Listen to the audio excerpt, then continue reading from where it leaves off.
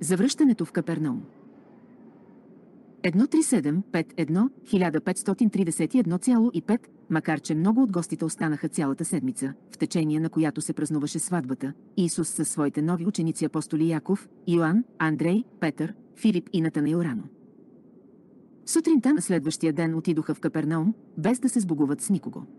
Семейството на Исус и неговите другари в Кана бяха изключително разстроени от това, че той ги напусна толкова внезапно, а Юда, по-малкият брат на Исус, тръгна да го търси. Исус и неговите апостоли тръгнаха направо към Зеведей във Вицейда. По пътя Исус обсъди със своите нови съратници много важни неща, засягащи бъдещото царство, и изрично ги предупреди да не споменават за превръщането на водата в вино. Той също така ги посъветва в бъдещата си дейност да заобикалят Сефорис и Тивериада. 137-52-1531,6 В тази вечер, след вечеря в дома на Заведей и Саломия се състоя едно от най-важните съвещания за целия ранен период на служене на Исус. Присъстваха само шестимата апостоли, Юда пристигна, когато вече се канеха да се разотидат. Когато тези шест избрани човека вървяха с Исус от кана към Вицаида, на тях им се струваше, че летят по въздуха. Те бяха изпълнени с очакване и. Тръпнеха от съзнанието за това, че са избрани за близки другарина. Сина човешки. Но когато Исус подробно им разказа кой е той, каква ще бъде неговата мисия на земята и как вероятно ще завърши тя, те бяха потресени. Не можеха да проумеят смисъла на неговите думи. Те се лишиха от дър слово, даже Петър беше неизразимо потиснат. Само дълбокомисленият Андрей се реши да отговори на дадения от Исус съвет. Когато Исус разбра, че те не разбират неговото послание, когато видя доколко закостенели бяха техните представи за юдейския месия, той ги изпрати да спят, а сам отиде на разходка, по време на която поговори със своя брат Юда. Преди да се раздели с Исус, Юда прочувствено каза, «Мой баща, братко, аз никога не съм те разбирал». Не съм уверен дали си този, за когото ни говореше нашата майка, и не докрай разбирам бъдещото царство, но със сигурност зная, че ти си могъщ Божий човек. Аз чух глас при Йордан и вярвам в теб, който и да си. И произнасяйки тези думи, той тръгна към своя дом в Емагдала. 13753 1532,1 през тази нощ Исус не спа. След като сложи своята вечерна наметка, той седя на брега на езерото и мисли чак до сутринта на следващия ден. През дългите часове на тази нощ, прекарани в размисъл, Исус ясно разбра, че никога няма да успее да накара своите последователи да видят в него някой друг, освен дългоочаквания Месия. Накрая осъзна, че неговата проповед за царството не може да започне, освен като изпълнение на предсказанието на Йоанн, и че той може да пристъпи към нея само като този, когато очакваха евреите. В края на краищата, макар че не беше Месия, приличащ на Давид, той беше истинско дело на пророческите изказвания на тези древни. Ясновици, които бяха посклонни към духовност. От тогава никога. Напълно не отричаше, че е Месия. Той реши да повери окончателното разрешаване на тази сложна ситуация на волята на Отеца. 13754 1532,2 на следващата сутрин Исус се присъедини за закуска към своите съратници, представляващи невесела гледка. Той поговори с тях, а след това ги събра край себе си и каза, волята на моя отец се състои в това, да останем тук известно време. Вие чухте как Йоанн казваше, че е дошъл да подготви пътя за царството, затова ние трябва да дочакаме завършването на проповедите на Йоанн. Когато претечата на сина човешки завърши своя труд, ние ще започнем да провъзгласяваме благата вест за царството. Исус изпрати своите апостоли по домовете им, а самият той се приготви да отиде заедно с Заведай в лодкърската работилница, той се оговори да се види с тях на следващия ден в синагогата, където трябваше да произнесе реч и си уреди среща с тях в събота по обед. Шест събитията от съботния ден. Едно 3761 1532,3 Първата публична изява на Исус след кръщението се състоя в синагогата на Капернаум в събота, 2 март 26 година от нея. Синагогата беше препълнена. Разказът за кръщението в Йордан сега се подсили с допълнителните новости от кана за водата и виното. Исус постави на почетните места шестима от своите апостоли, редом с които седяха неговите братя в плът Яков и Юда. Майка му, върнала се от Капернаум предишния ден вечерта, също присъстваше и седеше сред жените в синагогата. Цялата публика беше в състояние на нетърпеливо очакване. Те разчитаха да видят някаква необичайна демонстрация на свръхестествена сила, която би била подобаващо свидетелство за същността и властта на този, който трябваше да се обърне към тях в този ден. Но ги очакваше разочарование. 137-6-2-1532,4, когато Исус стана, управляващият синагогата му подаде свитък с писанието и той прочета от пророк Исея. така казва Господ, моят трон са небесата, земята, подножие за моите нозе. Къде е думът, построен от вас за мамана? Къде е моята обител? Всичко. Това съм го създал аз сам, казва Господ. Но за този човек аз ще се погрижа, за бедния и смирен, съкрушен духом, за този, който трепери пред думите мои. Слушайте словото на Господа, треперете. Пред него, вашите братя ви ненавиждаха и гонеха в мое име. Но нека да се прослави Господ. Той ще се яви във веселие и всички останали ще бъдат посрамени. Гласът от града, гласът от храма, гласът на Господа казва, още не се е мъчила в родилни мъки, а роди, преди да настъпят болките, роди син. Кой е чувал за нещо подобно? Може ли да бъде накарана земята да ражда в един ден? Може ли народ да се роди изведнъж? Но така казва Господ, ето, аз ще дам мир, той ще се излее като река и даже славата на езичниците ще потече като поток. Както майката успокоява своето дете, така и аз ще ви утеша. И вие ще бъдете утешени в Иерусалим. И когато видите това, ще се възрадва вашето сърце. 137, 6, 3, 1533,1, завършвайки четенето, Иисус върна свитъка на пазителя. Преди да си седне на мястото, той просто каза, бъдете търпеливи и ще видите славата Божия. Така ще бъде с всички, които останат с мен и се научат да изпълняват волята на моя небесен Отец. И хората се разотидоха по домовете си, размишлявайки какво означава. Всичко това. 137, 6, 4, 1533,2 В този ден Исус и неговите апостоли заедно с Яков и Юда седнаха в лодката и отплаваха на известно разстояние от брега. Там те останаха на котва и Исус заговори за бъдещото царство. И те разбраха повече от онова, което успяха да разберат в четвъртък вечерта. 137, 6, 5, 1533,3 Исус ги посъветва да се върнат към изпълнението на своите обичайни задължения, докато не удари часът на царството. И за да ги въодушеви с пример, той започна да работи редовно в лодкарската работилница. Обяснявайки, че те следва всяка вечер да. Посвещават по три часа за подготовка за своята бъдеща работа, и Исус добави, всички ние ще останем тук до тогава, докато Отецът не ни повели да ви призова. Сега всеки от вас трябва да се върне към своята привична работа така, сякаш нищо не е станало. На никого не говорете за мен и помнете, че царството мое ще дойде не чрез шум и вълшебство, а чрез огромната промяна, която моят отец ще предизвика във вашите сърца и в сърцата на тези, които бъдат призовани да се присъединят към вас в съветите на царството. Сега вие сте мои приятели, аз ви вярвам и ви обичам, скоро ви предстои да станете мои лични съратници. Бъдете търпеливи, бъдете кротки. Винаги се подчинявайте на волята на Отеца. Пригответе се да откликнете на призива на царството. Макар че ще изпитате огромна радост при служенето на моя отец, вие трябва също така да бъдете готови и за неприятности, тъй като ви предупреждавам, че за множество хора пътят към царството ще мине през много беди. Но тези, които намерят. Царството ще се изпълнят с радост и ще бъдат наречени най-добрите. На цялата земя. Но не се надявайте на празно, светът ще се спъне в моите думи. Даже вие, приятели мои, не съвсем разбирате какво разкривам пред вашите смутени умове. Не се заблуждавайте, предстои ни да се трудим за поколенията, очакващи знамения. Те ще изискват чудеса като доказателство за това, че съм изпратен от моя отец и неведнага ще видят потвърждение на моята мисия в разкритата от мен любов към моя отец. 137 6 1533,4 в тази вечер след завръщането си на брега и преди да се разотидат Исус, застанал на края на водата, произнесе молитва. Татко мой, благодаря ти за тези малки деца, които независимо от всички свои съмнения вече вярват. И заради тях аз забравих за себе си, за да изпълня Твоята воля. Нека те се научат да бъдат единни, както сме ние с Теб. Седем четирите месеца подготовка. 137, 7, 1, 1533,5 периодът на очакване продължи 4 дълги месеца – март, април, май и юни. Това време Исус прекара със своите съратници и своя роден брат Яков в повече от 100 продължителни и сериозни беседи, преминали обаче в приповдигнато и радостно настроение. Предвид болестта в своето семейство Юда посещаваше рядко тези занятия.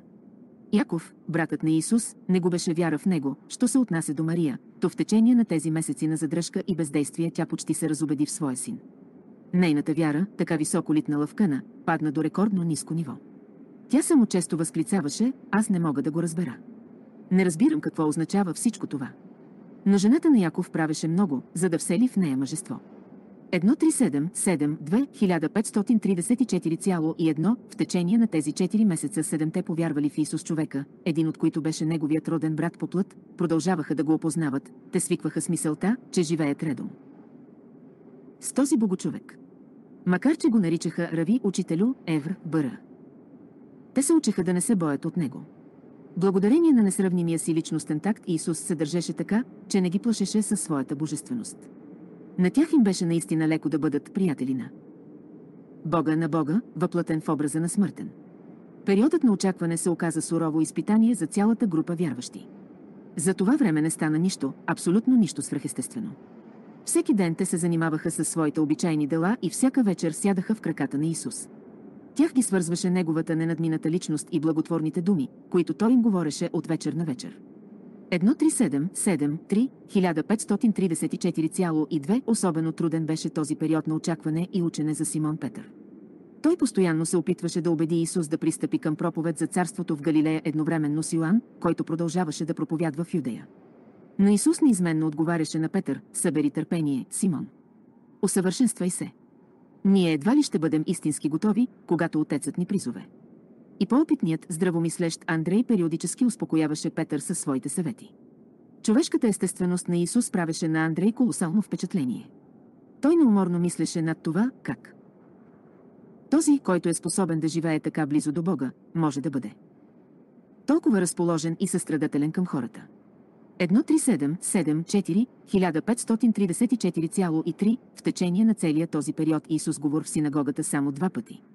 Една седмица сменяше друга и към края на периода на очакване хората започнаха порядко да си спомнят за неговото кръщение и за случая с виното в къна. Освен това Исус се погрижи за това време да не се случи нищо, което да изглежда като чудо. Но независимо от техния едва забележим живот във вица и да слуховете за необикновените деяния на Исус стигнаха до Ирод Антипа, който изпрати шпиони с цел да изясни намеренията на Исус. Но Ирод повече го тревожеха проповедите на Йоанн. Той реши да не безпокои Исус, който съвсем мирно продължаваше своята дейност в Капернаум.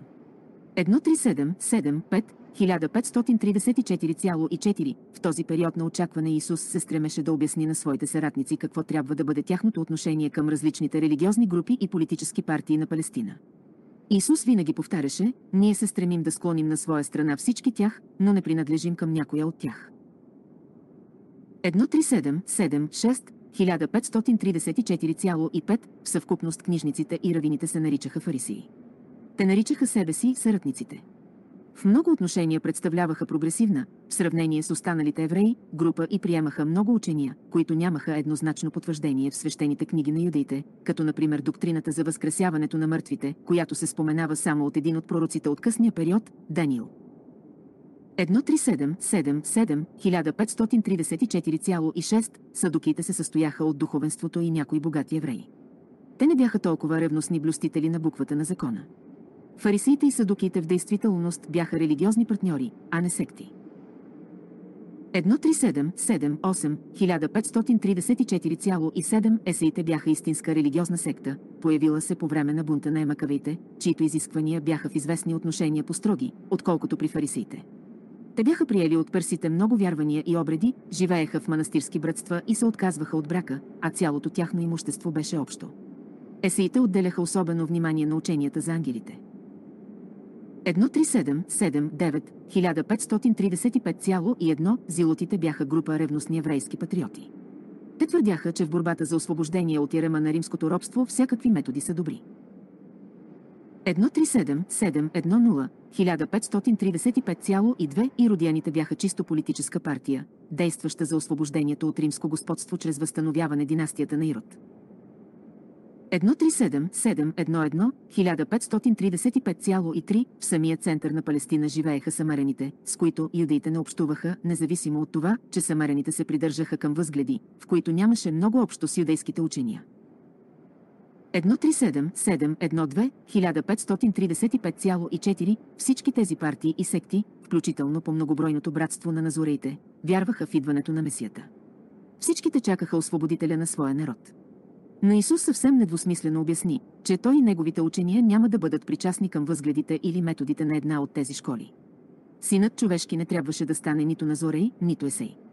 137, 7, 13, 1535,5, макар че Исус, както и Иоанн, призоваваше своите апостоли да проповядват Евангелието и да наставляват вярващите, той поставяше акцент върху възвестяването на благата вест за Царството Небесно. Той неизменно внушаваше на своите съратници, че те трябва да изказват любов, състрадание и съчувствие.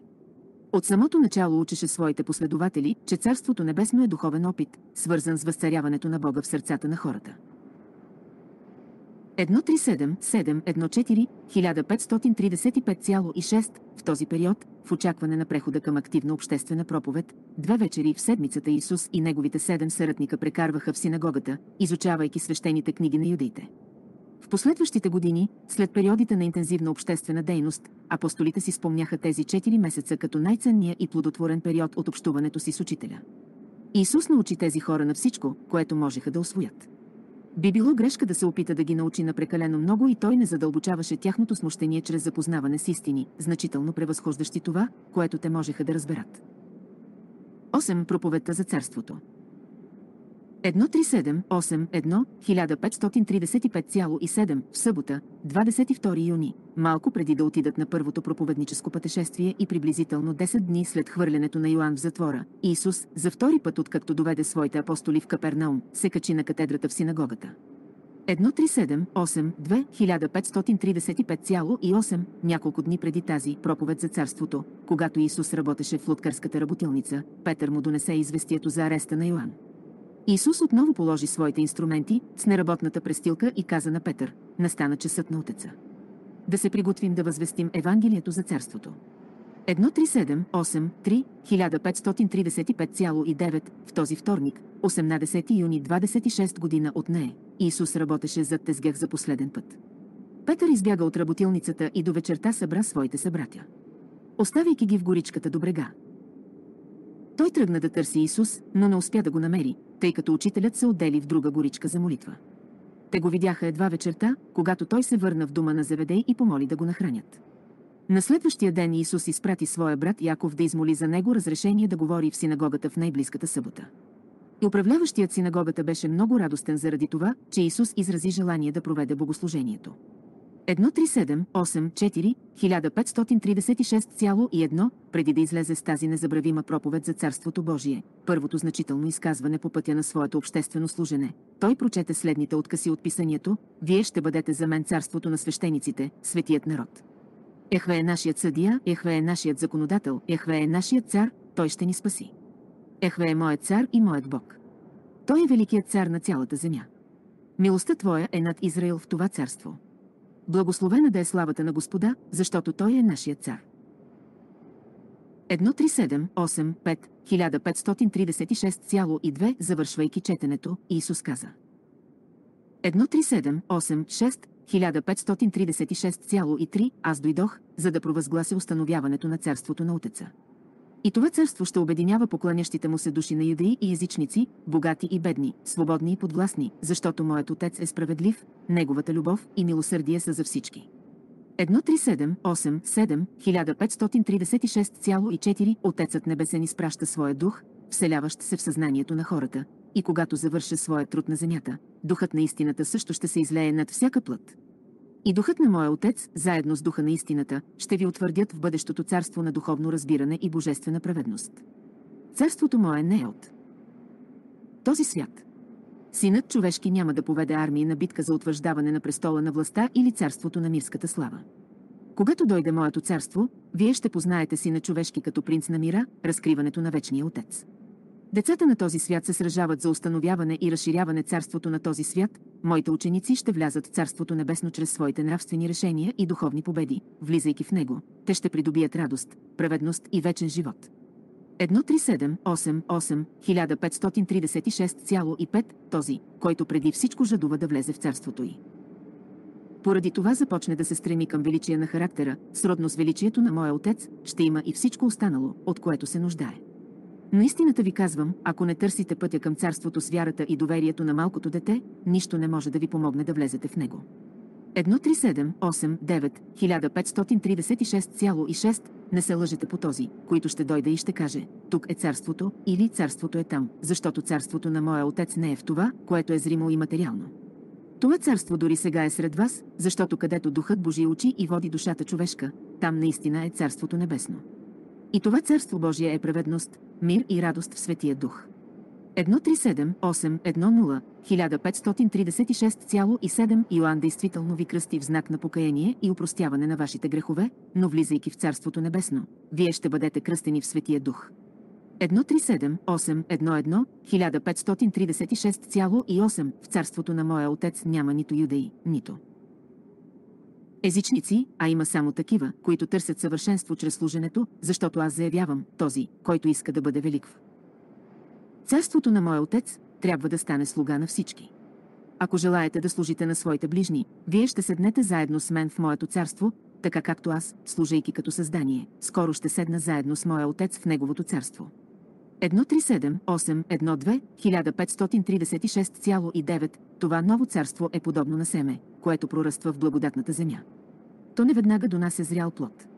Ще мине време преди вкоренилото се в душата на човека царство да донесе зрелия плод на неувяхващата праведност и вечното спасение. 137, 8, 13, 1536,10 и това царство, което ви възвестявам, не е господство на могъщество и изобилие.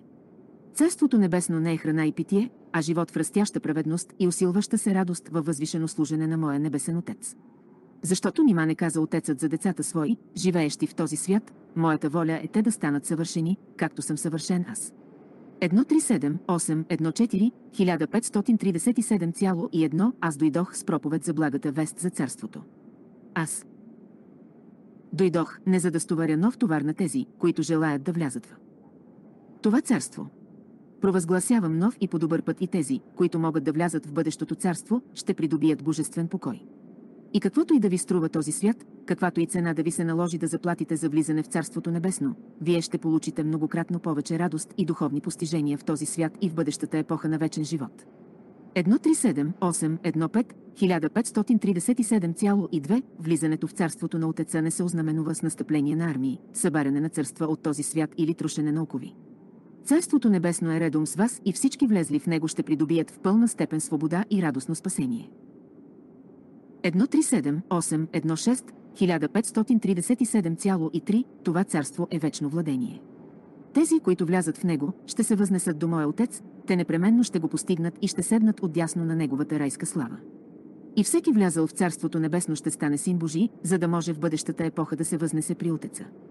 И на лицемерните праведници дойдох да призова аз, а грешниците и всички, които жадуват за божествено съвършена праведност.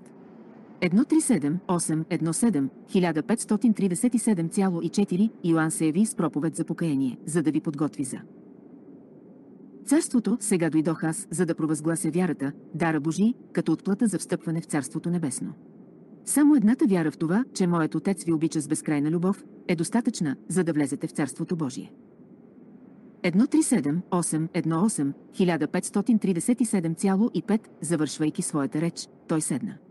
Неговите думи потресоха всички слушатели и възхитиха учениците. Но хората не бяха готови за възприемане на благата вест от устата на този богочовек. Приблизително една трета част от слушащите повярва в неговата проповед, макар че не всичко им беше понятно. Около една трета в дълбините на душата си не бяха готови да приемат такава чисто духовна представа за очакваното царство, докато останалата една трета не можа да разбере неговото учение и мнозина бяха действително убедени в това, че той не е с всичкия си. Книгата Орантия Документ 137 части съдържание. Документ 139 Документ 138 Подготовка на посланиците на Царството. 138-01 1538,1 през втората половина на деня след изнасянето на проповедта за царството Исус събра шестимата апостоли и започна да разкрива плановете си за посещаването на градовете в околностите на Галилейското езеро. Неговите брати Яков и Юда бяха изключително оскърбени от това, че не ги поканиха на този съвет. Досега те се смятаха за членове на вътрешния кръг от съратници на Исус. Но Исус не смяташе да включи близки роднини в числото на апостолите, духовните бащи на царството. Неприемането на Яков и Юда в числото на избраните, както и явното отчуждение на Исус от своята майка от времето на сватбата в Къна, положиха началото на все по-голямо отдалечаване на Исус от неговото семейство. Това положение се запази в течение на цялото му обществено служение. Те почти се отказаха от него и тези разногласия бяха напълно изчерпани едва след неговата смърт и възкресение. майка му постоянно се мяташе между неустойчивата вяра и надежда, от една страна, и усилващото се. Чувство на разочарование, унижение и отчаяние, от друга. Само Рут, най-младият член на семейството, хранеше непоколебима преданост към своя баща брат. 138-02-1538,2 чак до възкресението на Исус никой от членовете на семейството му не вземаше активно участие в неговото служене. Както не почитат пророка в неговата родина, така и в неговото собствено семейство му отказват разбиране и съчувствие. Едно последни наставления.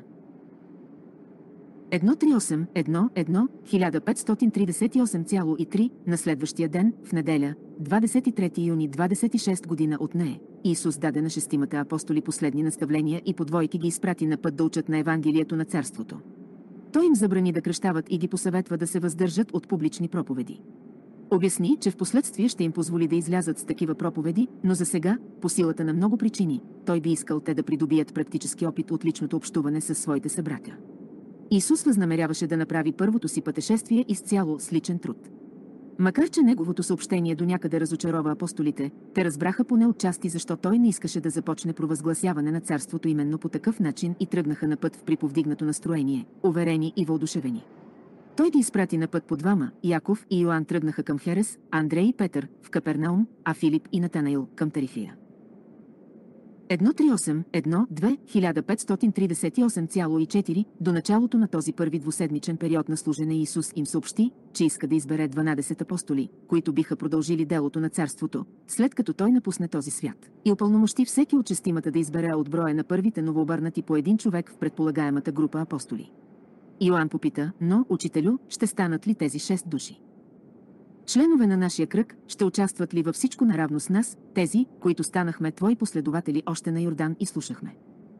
Всичко, което ти говореше при подготовката за тази първа задача в името на царството.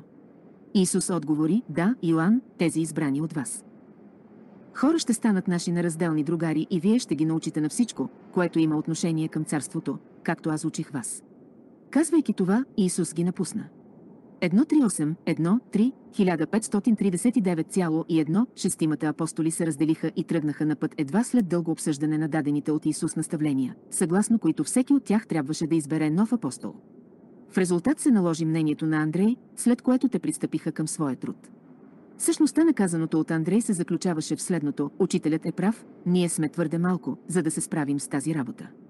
Необходими са ни нови проповедници и учителят ни оказа огромно доверие, поръчвайки ни да изберем шестима нови апостоли.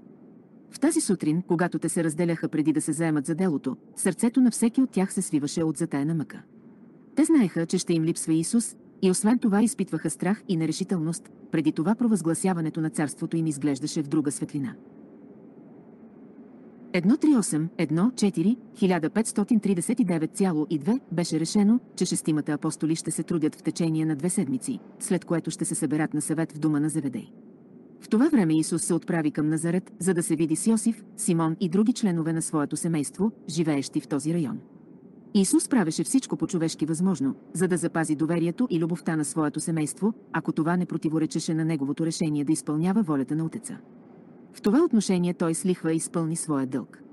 138, 1, 1539,3, докато апостолите отсъстваха, Исус много мисли за Йоанн Кръстител, вече намиращ се в затвора. Той изпитваше огромна съблазън да използва своето потенциално могъщество и да го освободи, но за пореден път се подчини на решението да изпълни волята на Отеца. Две избирането на шестимата. 138-2-1, 1539,4, първото мисионерско пътешествие на шестимата апостоли беше във висша степен успешно. Всеки от тях откри за себе си огромната ценност на непосредственото, лично общуване с хората. Те се върнаха при Исус, добре разбирайки, че в крайна сметка религията е изцяло и напълно въпрос на личен опит. Те започнаха да чувстват колко силно простите хора жадуват да чуят думи на нова религиозна поддръжка и духовно утешение. И когато апостолите се събраха около Исус, на всички им се искаше да се изкажат едновременно, но Андрей пое върху себе си задълженията на водещи. Получавайки от него право на глас, те надлежно се отчетоха пред учителя и представиха шестимата кандидати за нови апостоли. 138, 2, 1539,5 всеки от апостолите представяше своя избраник за апостолство, след което Исус помолваше останалите да гласуват за кандидата. Така и шестимата нови апостоли бяха официално прияти от шестимата постърши ученици. След това Исус съобщи, че всички заедно ще посетят тези кандидати и ще ги призоват към служение. 138, 2, 3, 1539,6 новоизбраните апостоли бяха 138, 2, 4, 1539,7 1. Матей Леви, събирач на налози от Капернаум, чието седалище се намираше малко на изток от града, на границата с Витания. Той беше избран от Андрей. 138, 2, 5, 1539,8 2. Тома Дидим, рибар от Тарихея, преди работещ като дърводелец и каменар в Гъдара. Той беше избран от Филип.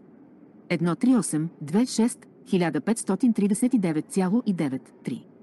Яков Алфеев, рибар и фермер от Хереса, избран от Яков Зеведеев. 138, 27, 1539,104. Юда Алфеев, брат-близнак на Яков Алфеев, рибар и. Фермер от Хереса, избран от Йоан Зеведеев.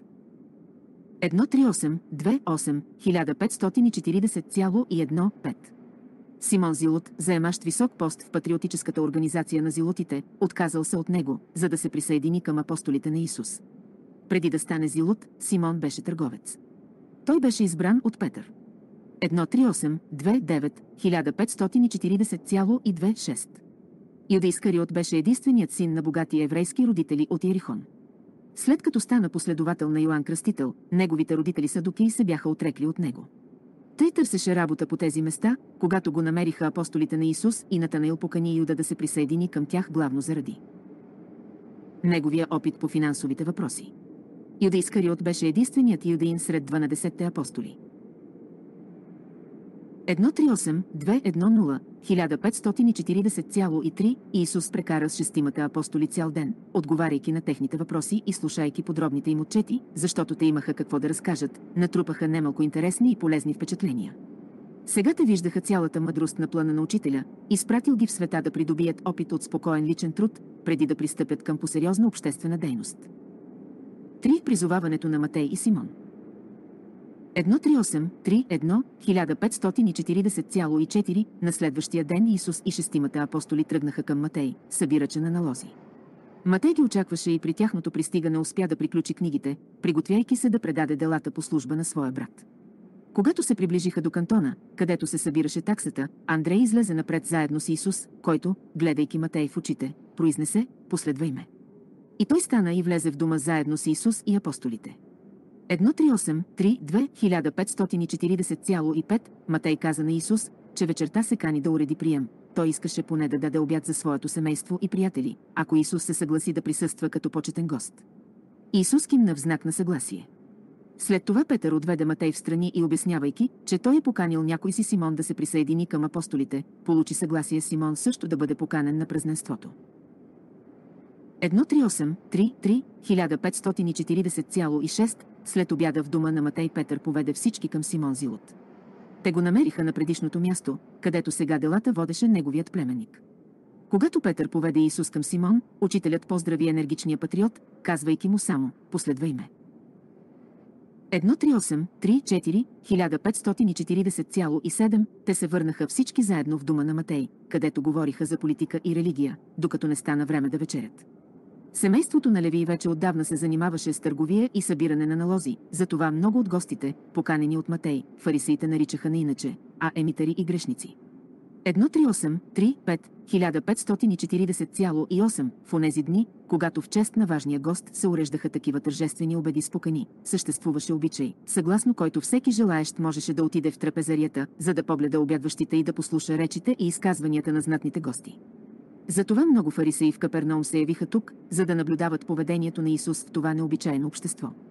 138, 3, 6, 1540,9 в хода на празничния обяд гостите изпаднаха в изключително весело разположение на духа. Всеобщото веселие беше такова, че наблюдаващите фарисеи в душата си започнаха да порицават Исус, задето участва в толкова безгрижно и безотговорно.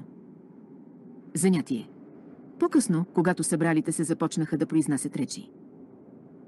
Един от най-злобните фарисеи си позволи, обръщайки се към Петър, да осъди поведението на Исус. Как можеш ти да учиш, че този човек е праведник, когато той е семитарите и грешниците, позволявайки си да се отдава на толкова безгрижно прекарване на времето? Петър шепнешком предаде забележката на Исус преди той да започне. Прощалната благословия на присъстващите. Исус започна своята реч с думите «Днес ние сме се събрали тук, за да приемем Матей и Симон в нашето братство». На мен ми е приятно да видя вашето веселие и радост, но вие трябва да се възрадвате още повече, тъй като много от вас ще влязат в Царството Небесно, където поизобилно ще вкусят благодатните му дарове. На вас, стоящите тук и порицаващи ме в душата си за това, че се веселя със своите приятели, позволете да отбележа, че аз дойдох да провъзглася радостта на тези, които отхвърлят обществото, и духовната свобода на тези, които са в плен на морала. Аз ли да ви напомням, че лекар е нужен не на здравите, а на болните? Аз дойдох да призова не благочестивите, а грешниците.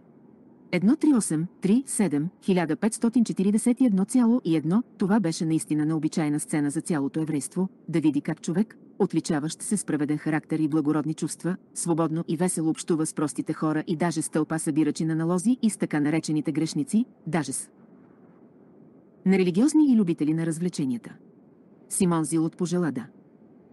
Произнесе реч на това събрание в дома на Матей, но Андрей, знаейки, че Исус не искаше бъдещото царство да бъде смесвано с движението на зилотите, го убеди да се въздържи от публични изказвания. 138, 38, 1541,2 Исус и апостолите нощуваха в дома на Матей и когато хората се разотиваха по домовете си, всички говореха само за едно, за добротата и дружелюбието на Исус. 4. Призоваването на близнаците 138-4-1, 1541,3 сутринта и деветимата отплаваха към Херес, за да могат по подобаващ начин да призовават поредните апостоли Яков и Юда, братята близнаци, синове на Алфей, избрани от Яков и Йоан Зеведееви. Близнаците рибари знаеха за посещението на Исус и неговите апостоли и ги очакваха на брега. Яков Зеведеев представи учителя на хереските рибари и Исус, внимателно гледайки ги, кимна с глава и каза, последвайте ме. 138-4-2-1541,4 през втората половина на деня, която те прекараха заедно, Исус им даде подробни наставления относно празничните събирания, завършвайки своите забележки със следните думи. Всички хора са мои братя. Моят небесен отец не презира никое сътворено от нас създание. Царството небесно е отворено за всички мъже и жени. Никой няма правото да затваря вратата на милосърдието пред жадуващата душа, стремяща се да влезе в царството. Ние ще споделим трапезата с всички, които пожелаят да чуят за царството. Когато нашият небесен отец гледа от небесата към хората, те всичките са еднакви за него. Затова не се отказвайте да споделите хляба с фарисеи или грешници, с садуки или емитари, с римляни или юдеи, богати или бедни, свободни или обвързани. Вратите на царството са широко отворени за всички, които желаят да познаят истината и да намерят Бога.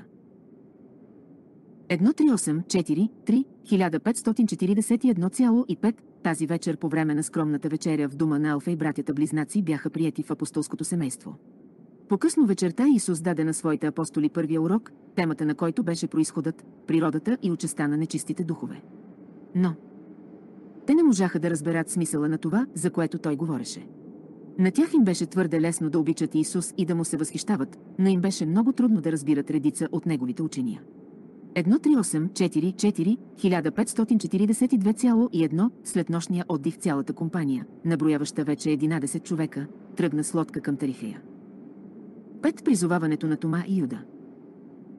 138-5-1, 1542,2 рибарят Тома и скиталецът Юда се срещнаха с Исус и апостолите при рибарския пристан в Тарихия и Тома ги поведе към своя дом, който се намираше наблизо. Тук Филип представи Тома като свой кандидат за апостол, а Натанаил представи Юда Искариот, юдеина, като човек, достоен за такава чест. Исус погледна Тома и каза, Тома, на теб не ти достига вяра, при все това аз ще те приема. Последвай ме.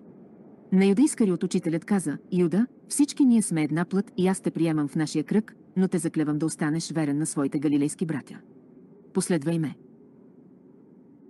138-5-2-1542,3, след като се подкрепиха, Исус се уедини със своите 12 апостоли, за да се отдаде на съвместни молитви и да им разкаже за същността и действието на Светия Дух, но и този път те в по-голямата си част не успяха да разберат смисъла на тези изумителни истини, които той се опита да им разкрие.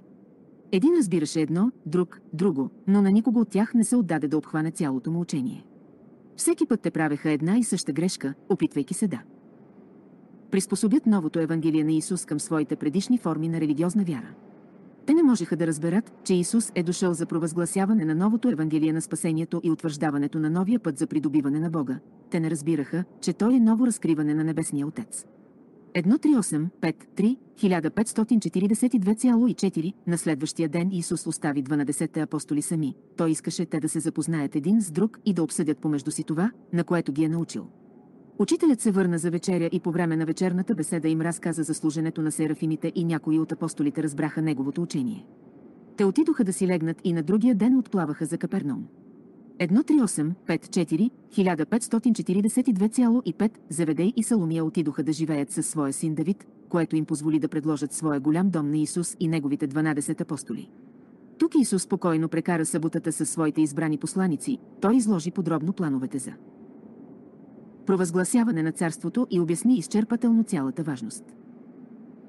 От отклоняването от сблъсък с гражданските власти, като каза, ако е необходимо да отправите порицание към гражданските управители, оставете това на мен.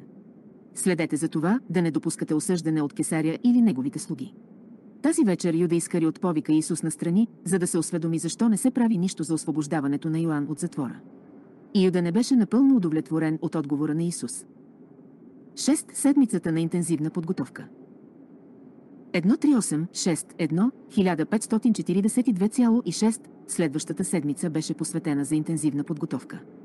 Ежедневно всеки от шестимата нови апостоли ставаше подопечен на препоръчалия го негов другар и заедно с него той внимателно повтаряше всичко освоено и преживяно при подготовката за служенето на царството. Първите апостоли подробно повтаряха с шестимата апостоли учението на Исус, с което вече се бяха запознали. Вечерите те се събираха в дома на Зеведей, където Исус продължаваше тяхното обучение. 138-6-2 1542,7 Именно по това време Исус отдели в средата на седмицата свободен ден за отдив и развлечения. В течение на целия му останал материален живот те се придържаха към този план, посвещавайки един ден в седмицата на почивка. Като правило те прекратяваха своите привични занятия в сряда. В такъв ден Исус обикновено ги напускаше с думите «Деца мои, организирайте си ден за развлечения». Оставете напрегнатия труд за царството и се насладете. На почивката, която помага да се върнете към предишните занятия или открива нови начини за възстановяване. Макар че в този период на своя живот Исус не се нуждаеше от такъв ден за отдих, той съблюдаваше този план, защото знаеше, че това ще е от полза за неговите човешки съратници. Исус беше наставник, учител, съратниците му бяха негови възпитаници, ученици. 138-6-3, 1543,1 Исус се стремеше да обясни на своите апостоли. Разликата между неговите учения и неговия живот сред тях, от една страна, и ученията, които в последствие можеха да се появят за него, от друга. Той каза, моето царство и Евангелието за това царство трябва да станат основна тема на вашите проповеди. Не се, Отклонявайте с проповеди за мен и за моите учения. Провъзгласявайте Евангелието на Царството и се придържайте към моето разкриване на Небесния Отец, но не кривайте по пътя на създаването на легенди и култ, свързани с вярвания и учения за моите възгледи и учения. Но те за пореден път не разбраха защо той говори така и нито един не се реши да го попита защо ги учеше на това. 138-6-4, 1543,2 в тези ранни учения Исус се стремеше, доколкото това беше възможно, да избягва противоречия със своите апостоли, ако те не се отнасяха до лъжливите представи за Неговия небесен Отец. Във всички такива случаи той без колебание поправяше погрешните възгледи. След кръщенческия живот Исус на Орантия имаше само един мотив – по съвършено и истинско разкриване на Неговия райски баща. Той беше инициаторът на новия и по-добър път към Бога, пътя на вярата и любовта. Той винаги призоваваше апостолите, търсете грешниците и падналите духом, утешавайте страдащите. 138-6-5 1543,3 Исус в съвършенство владеше положението. Той притежаваше неограничена власт, от която можеше да се възползва в помощ на своята мисия, но напълно се задоволяваше със средства и личности, които в представите на повечето хора биха изглеждали неадекватни и незначителни. Осъществяваше мисия, в която се тееха колосални възможности за външна ефектност, но настояваше на служенето на делото на своя отец по напълно незабележим и неефектен начин. Опорито избягваше всяка демонстрация на могъщество. Той се канеше да се труди незабележимо поне няколко месеца със своите 12 апостоли в покрайнините на Галилейското езеро. 7. Новото разочарование. Едно 3871 1543,4 според плана на Исус в течение на 5 месеца те трябваше да се занимават спокойно с индивидуално мисионерство. Той не разкри пред своите апостоли този срок, те работеха по седмичен план. И в първата седмица, когато се кънеше да обяви за това на 12-те апостоли, Симон Петър, Яков Заведей и Юда Искариот дойдоха при него за лична беседа. Отвеждайки Исус настрани, Петър събра кораж и каза, Учителю, ние дойдохме по настояване на нашите другари, за да попитаме дойде ли времето за встъпване в царството. Ще провъзгласиш ли ти царство в Капернаум, или следва да се преместим в Иерусалим? И още, кога всеки от нас ще узнае какво място му предстои да заеме край теб при установяването на царството. Петър щеше да продължи да задава своите въпроси, но Исус го спря с предупредителен жест на ръката си. Поканвайки и останалите апостоли, които стояха наблизо да се присъединят към него, Исус каза, «Малки мои деца, до кога ще ми се налага да ви?» Търпя. Нима не ви обяснявах, че моето царство не е от този свят. Неведнъж ви говорих, че не съм дошъл за това, да седна на трона на Давид, защо ме питате какво ще бъде вашето място в царството на Отеца. Нима не можете да разберете, че ви поканих като посланици на духовно царство. Нима не разбирате, че скоро, много скоро, ще ви се наложи да станете мои представители в света и в провъзгласяването на царството така, както аз сега представлявам моя небесен Отец. Възможно ли е да съм ви избрал и подготвил за посланици на царството, а вие да не разбирате същността и значението на бъдещото царство на Божието превъзходство в сърцата на хората. Приятели мои, изслушайте ме още веднъж. Избавете се от мисълта за това, че моето царство е господство на силата или властта на славата. Наистина, цялото му бъщество на небето и земята скоро ще бъде предадено в моите ръце, но Отецът не желая ние да използваме този божествен дър за прославяне на себе си в течение на тази епоха. В друга епоха вие наистина ще седите край мен в могъщество и слава, но сега трябва да се подчините на волята на Отеца и да продължавате своя труд, смирено покорявайки се на изпълнението на Неговата воля на земята. 138-7-2-1544,1 за пореден път неговите съратници бяха потресени, поразени. Исус ги изпрати да се молят по двойки, като ги помоли да се върнат при него на обед. В тази решаваща сутрин всеки от тях се опитваше да намери Бога и всеки се стремеше да ободри и укрепи. Духом другия и те се върнаха при Исус, както ги беше помолил. 138-7-3, 1544,2 След това Исус им разказа за идването на Йоанн, кръщението при река Йордан, празнуването на сватбата в Кана, на отдавнашното избиране на шестимата апостоли и отзоваването от техните редове на неговите братя по плът, като ги предупреди, че враговете на царството ще се опитат да ги отклонят от правия път. След този кратък, но сериозен разговор апостолите, следвайки Петър, станаха, за да заявят своята вечна преданост към своя учител и да се закълнат в своята нерушима вярност към царството, както каза Тома, на това бъдещо царство, каквото и да е то, макар че аз не го. Разбирам до край. Всичките наистина вярваха в Исус, макар че не всичко в неговите учения им беше понятно. 138-7-4, 1544,3, след това Исус ги попита с какви средства разполагат. Той също така се поинтересува какви мерки са били взети за издържането на семействата им. Когато се изясни, че парите едва ли ще им стигнат, за да се изхранят две седмици, Исус каза, моят отец не желая нашият труд да започне така.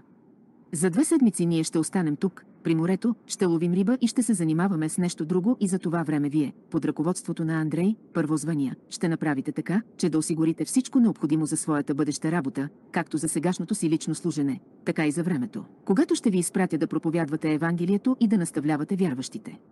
Всичките изключително много се зарадваха на тези думи, първият недвусмислен намек за това, че в последствие Исус смята да премине към по-активна и решителна обществена дейност. 138-7-5, 1544,4 през остатъка от деня апостолите усъвършенстваха своята организация и се занимаваха с приготвянето на лодки и мрежи, за да могат на следващия ден да отидат на риболов, тъй като всичките се посветиха на риболовство, повечето от тях бяха рибари и даже Исус беше опитен строител на лодки и рибар. Много от лодките, които те използваха през следващите години, бяха построени от неговите собствени ръце. И това бяха добри и устойчиви лодки. 138-7-6, 1544,5 Исус им каза да посветят две седмици на риболов, добавяйки, и след това ще тръгнете на път, за да станете ловци на души. Те ловяха риба на три групи и всяка вечер Исус излизаше в морето с нова група. И колко се наслаждаваха те на общуването с Исус. Той беше добър рибар, весел придружител и въодушевяващ приятел. Колкото повече те работеха заедно с него, толкова повече го заобичваха. Веднъж Матей каза, колкото повече разбираш някои хора, толкова по-малко им се възхищаваш, що се отнася до този човек, то колкото по-малко го разбирам, толкова повече го заобичвам. 1387, 1545,1, така продължи 5 месеца. Две седмици ловяха риба, а следващите две посвещаваха на личен труд в името на царството. Те се придържаха към този план до края на тази, 26, а година от нея, докато не се прекратиха особените преследвания, на които бяха подложени учениците на Йоанн след неговото заточение. 8. Началото на дейността на 12. Апостоли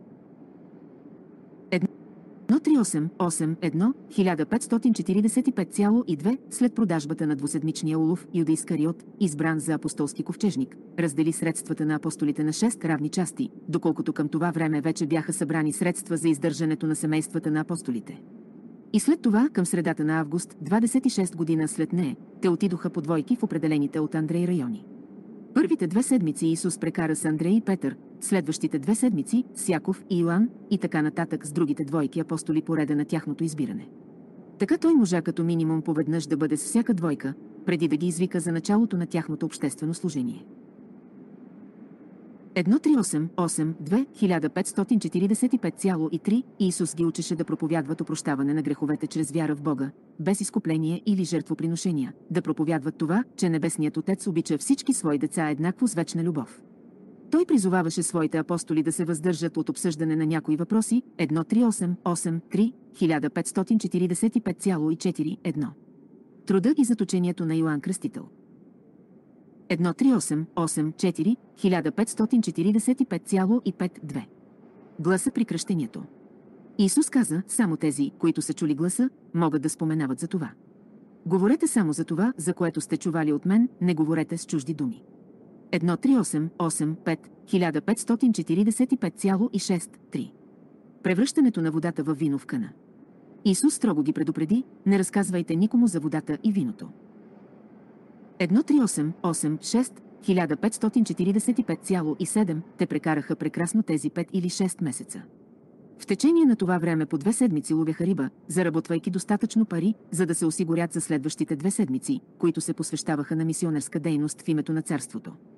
13887 1545,8 простите хора се възхищаваха на учението и служенето на Исус и неговите апостоли. Равините отдавна внушаваха на евреите, че невежият човек не може да бъде благочестив или праведен. Но апостолите на Исус бяха и благочестиви, и праведни, и при все това те, в по-голямата си част, пребиваваха в щастливо неведение относно учеността на равините и натрупването на мъдрост в света.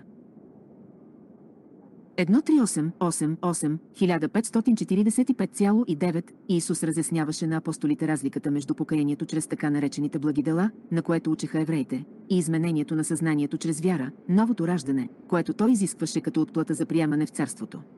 Той учеше своите. Апостоли, че вярата е единственото условие за влизане в царството на Отеца. Иоанн ги учеше на покаяние, бягство от бъдещия гняв. Исус учеше, вярата е отворена врата за встъпване в днешната съвършена и вечна любов към Бога. Исус говореше не като пророк, който идва да възвести за Словото Божие. Чувстваше се, че той говори от себе си, като имащ такава власт. Исус се стремеше да отклони техния разум от жадуването на чудеса и да го обърне към търсенето на истински и личен опит в удовлетворяването и увереността, пораждани от пребиваващия в човека Божий дух на любовта и спасителната благодат.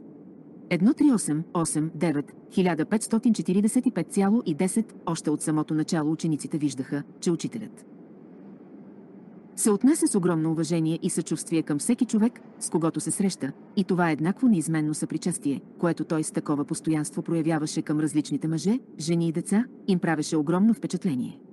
Разсъждавайки над важна тема, той можеше да се спре посред дума, за да излезе на пътя и да каже няколко сърдечни думи на минаваща наблизо жена, натоварена с материален и морален товар. Можеше да прекъсне сериозна беседа със своите апостоли, за да си поиграе с дотичало дете. Нищо и никога не беше за Исус по-важно, отколкото отделният човек, който се оказваше редом с него. Той беше владетел и учител, но беше и повече от това, той беше и другар, и ближен, отсивчив другар.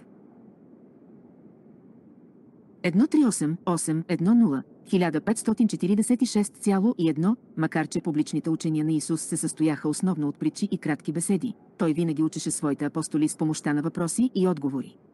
Задължително намираше време за отговори на искрените въпроси по време на своите последващи публични изяви. 138-811, 1546,2 отначало апостолите бяха изумени от отношението на Исус към жените, но бързо привикнаха към това и Исус пределно ясно им обясни, че в царството на жените се предоставят равни права с мъжете. 9 петте месеца изпитания 138-9-1, 1546,3, този малко еднообразен период, в течение на който риболовът се редуваше с индивидуален труд, се превърна в сурово изпитание за 12-те апостоли, но те го издържаха с чест. Независимо от всичките им оплаквания, съмнения и мимолетни недоволства, те стържаха своята клетва за вярност и преданост към учителя. Именно благодарение на личното си общуване с Исус в течение на тези месеци на изпитание те го заобичаха до толкова, че всички, освен Юда, запазиха своята вярност и преданост към него даже в тежките часове на съда и разпятието. Истинските хора просто не можеха да изоставят почитаем учител, толкова близък и толкова предан им, какъвто беше Исус. В мрачните часове на смъртта на учителя в сърцата на тези апостоли всички доводи, аргументи и логика бяха изтласкани само от едно висше човешко чувство – чувството на преданост към своя приятел. Тези пет месеца, в течение на които те се трудеха заедно с Исус, доведоха всеки от апостолите до. Това, че Исус стана за тях най-добрия приятел в света. Именно това. Човешко чувство, а не неговите възвишени учения или възхитителни деяния, ги удържа на място чак до възкръсването на Исус и новото възвестяване на Евангелието на Царството. 138-9-2-1546,4 Тези пет месеца незабележим труд бяха не само велик изпит за апостолите, изпит, който те издържаха, но този период на отсъствие на обществена дейност стана огромно изпитание и за семейството на Исус. Към това време, когато Исус се приготви да пристъпи към обществено служене, цялото му семейство, с изключение на Руд, на практика го изостави. Понататък те само в няколко случая се опитваха да установят връзка с него, но и тогава то беше, само за да го убедят да се върне заедно с тях вкъщи, тъй като бяха близо до това, да го смятат за луд. Те просто не можеха да проумеят неговата философия или да разберат учението му. Всичко това беше извън разбирането на неговите роднини. 138-9-3-1546,5 апостолите продължаваха своя личен труд в Капернаум, Вицаида Юлия, Хоразин, Гераса, Хипус, Емагдала, Кана, Витлеем Галилейски, Ютапата, Рама, Сефет, Гишала, Гадара и Абила. Освен това те се трудеха в много села и махари. Към края на този период 12-те апостоли се изготвиха напълно удовлетворителни планове за опека на своите семейства. Повечето от апостолите бяха женени хора, някои от тях имаха по няколко деца, но взетите от него мерки по осигуряването на техните близки, в допълнение към неголемите постъпления от апостолския фонд, им позволяваха да посвещават цялата си енергия на делото на учителя, без да се безпокоят за финансовото благополучие на своите семейства. 10. Организацията на 12-те апостоли 138-101, 1547,1, още на ранния етап сред апостолите съществуваше следната организация. 138-102, 1547,2-1. Андрей, първият избран апостол, беше назначен за водач и управляващ на 12-те. 138-103, 1547,3-2.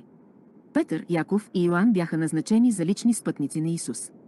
Те трябваше да му служат денем и нощем, грижейки се за неговите физически и други потребности, и да го съпровождат по време на нощните бдения, прекарвани в молитви и тайнствено общуване с Небесния Отец. 138-104, 1547,4-3 Филип стана иконом на групата. Той трябваше да осигурява храната и да следи за това посетителите, а често пъти и цели тълпи слушащи, да има какво да хапнат. 138-105, 1547,54. Натанаил следеше за положението в апостолските семейства. Той получаваше редовни отчети за нуждите на всяко семейство, правейки необходимата заявка пред ковчежника Юда, ежеседмично изпращаше пари на тези, които се нуждаеха от тях. 138-106, 1547,65. Матей беше финансов агент на апостолския корпус. Той трябваше да следи за балансирането на бюджета и попълването на хазната. Ако групата нямаше средства за съществуване, ако пожертвувания за нейната издръжка не постъпваха, Матей притежаваше правото за известно време да отзове апостолите и да ги изпрати с мрежите. Но след началото на техния обществен труд на него не му се налагаше да прибягва към това, в разпореждане на ковчежника имаше достатъчно средства за финансирането на тяхната дейност. 138-107, 1547,76. Тома беше администратор. На него легна задължението да търси квартири и да набелязва места за обучение и проповеди, с това осигурявайки плавния и динамичен график на пътуванията. 138 108 1547,87 Яков и Юда, синовете близнаци Алфееви, трябваше да следят за реда. В техните задължения влизаше да назначават достатъчно количество дежурни за поддържане на реда в тълпата по време на проповедите. 138 109 1547,98 Симон Зилот отговаряше за възстановяването на силите и провеждането на почивките. Той организираше почивните дни в сряда и се стремеше всеки ден да намери няколко часа за отдих и развлечения. 138 10 10 1547,109 Юда Искариот беше назначен за ковчежник. Той носеше хазната. Юда заплащаше всички разходи и водеше счетоводните книги. Той правеше ежедневните сметки за доходите и разходите за Матей и всяка неделя се отчиташе пред Андрей. Юда изплащаше пари с разрешение на Андрей. 138 1011 1547,11 такива бяха функциите на 12-те апостоли от момента на появата на тази организация и чак до времето, когато предателството на Юда ги накара да направят реорганизация. Учителят и неговите ученици апостоли продължаваха своята незабележима работа чак до неделя, 12 януари 27 година от нея, когато Исус свика апостолите и официално ги посвети като посланици на царството и като проповедници на неговата благавест. И скоро те бяха готови да тръгнат за Иерусалим и Юдея на своето първо пътешествие с публична проповед за царството.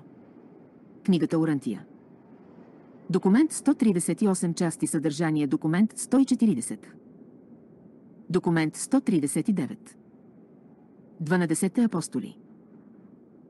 139-01 1548,1 Фактът, че само един от апостолите изостави Исус, е красноречиво свидетелство за обаянието и праведността на неговия земен живот, независимо от това, че от време на време той разбиваше на парчета надеждите на своите апостоли и не оставяше камък върху камък от всеки техен стремеж към лично възвеличаване.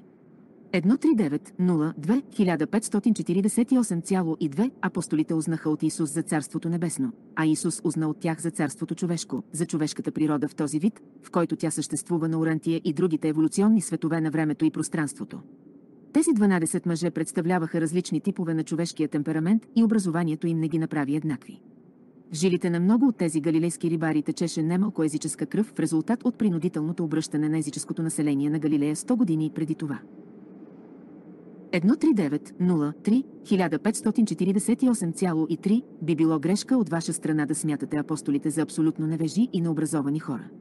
Всичките, с изключение на Близнаците Алфееви бяха випускници на синагогалните училища, добре знаеха писанията на юдеите и притежаваха много от съвременните познания в онази епоха. Седем от тях завършиха синагогалните училища на Капернаум, а в цяла Галилея нямаше по-добри еврейски училища. 139-04 1548,4 Когато вашите писмени свидетелства ги наричат невежи и необразовани, това означава само, че те бяха прости хора, необучени на доктрините на равините и невладеещи методите на равинското тълкуване на писанията. Те нямаха така нареченото висше образование. Днес със сигурност биха ги смятали за необразовани, а в някои слоеве на обществото даже некултурни. Ясно е едно, не всичките преминаха строга, стандартна програма на образование. От юношески години всеки от тях се учеше да живее самостоятелно. Едно Андрей Първозваният. 139-1-1 1548,5 Андрей, предводител на апостолския корпус на царството, беше роден в Каперном. Той беше най-голямото дете в семейство с пет деца, освен брат си Симон той имаше и три сестри. Баща му, който по това време вече беше починал, беше бил партньор на Заведей при сушенето на риба във Витсаида, риболовното пристанище на Каперном. Когато Андрей стана апостол, той не беше женен и живееше със семейството на своя женен брат Симон Петър. Те двамата бяха рибари и придружители на Яков и Йоан, синовете на Заведей. 139 1548,6 през 26 година от нея, когато Андрей беше избран за апостол, той беше на 33 години, с цяла година повече от Исус, той беше най-големият сред апостолите. Андрей имаше прекрасно родословие и беше най-способният от 12-те апостоли. С изключение на ораторското изкуство, той по нищо не отстъпваше на своите другари. Исус не даде на Андрей прякор, братски епитет. Но както апостолите скоро започнаха да наричат Исус учител, така по отношение на Андрей те започнаха да използват прякор, съответстващ на думата глава. 139, 1, 1549,1 Андрей беше добър организатор, но още по-добър администратор.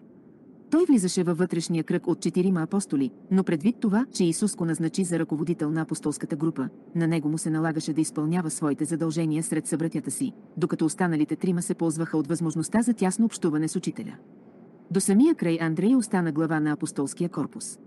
139, 1549,2, макар че Андрей никога не беше блестящ проповедник, той успешно се занимаваше с личен труд, явявайки се пионерът на мисионерската дейност в името на царството в този смисъл, че като пръв избран за апостол той веднага доведе при Исус своя брат Симон, който в последствие стана един от най-великите проповедници на царството.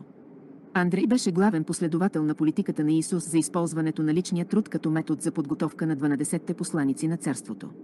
139-1-5-1549,3, независимо от това дали Исус учеше своите апостоли. В тесен кръг или проповядваше в тълпа, Андрей винаги беше в течение. На нещата той беше досетлив изпълнител и умел администратор.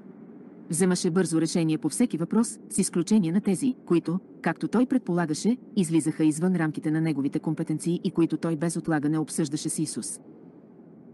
139, 1549,4 Андрей и Петър изобщо не си приличаха по характери.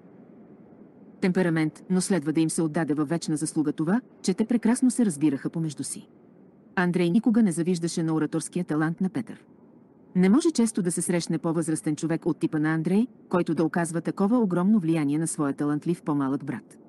Изглеждаше, че Андрей и Петър никога в ни най-малка степен не завиждаха на способностите и на взаимните си постижения. Късно вечерта в деня на Педесетница, когато до голяма степен поради страстната и въодушевяваща проповед на Петър царството се увеличи с 2000 нови души, Андрей каза на своя брат, аз бих бил неспособен на това, но се радвам, че имам брат, на когото това се отдаде. На което Петър отговори, но ако ти не ме беше довел при учителя и не ме удържаше редом с него, аз нямаше да мога да се окажа тук и да направя това. Отношенията между Андрей и Петър бяха изключение от правилото, доказващо, че даже братята могат да живеят в мир и успешно да си сътрудничат един с друг.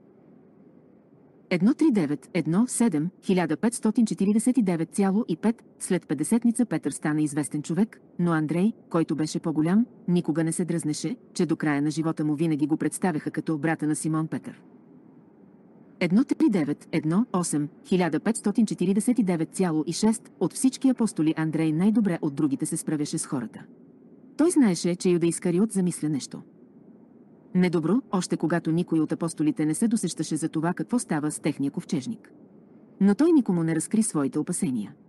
Огромната заслуга на Андрей пред царството бяха неговите съвети, дадени на Петър, Яков и Йоан относно първите мисионери, които тръгнаха по света, за да възвестяват Евангелието, както и препоръките по организацията на административните дела на царството, дадени на тези ранни ръководители. Андрей притежаваше огромен талант да вижда скритите възможности и потенциални способности на младите хора. 139-19-1549,7 почти веднага след възнесенето на Исус Андрей. Започна да пише лични спомени за многото изказвания и деяния на своя покоен учител. След смъртта на Андрей преписи от това частно свидетелство свободно се разпространяваха на ръка сред ранните учители на християнската църква. Впоследствие в тези чернови записи на Андрей биваха внасени поправки, изменения и допълнения, докато те не се превърнаха в достатъчно последователен разказ за живота на учителя на Земята. Последният от тези видоизменени и поправени екземпляри изгоря при пожара в Александрия приблизително 100 години след написването на оригинала от първия от 12-те апостоли. 139-110 1550,1 Андрей беше човек с ясно разбиране, логическо. Мислене и твърди решения, чиято огромна сила на характера се заключаваше в несравнимо постоянство. Недостатък на неговия темперамент беше отсъствието на ентусиазъм, много пъти той се оказваше неспособен да въодушеви своите другари с думи на благоразумна похвала. Това стържано отношение към похвалата.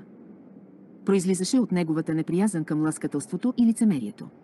Андрей беше един от тези всестранни, уравновесени, успяващи и скромни хора, които постигат всичко със собствения си труд. 139-111-1550,2 Всички апостоли обичаха Исус, но също толкова вярно е и това, че всеки от 12-те апостоли биваше привличан към него от определена черта на неговата личност, особено импонираща на един или друг апостол. Андрей се възхищаваше от Исус заради неговата неизменна искреност, неговото естествено достоинство.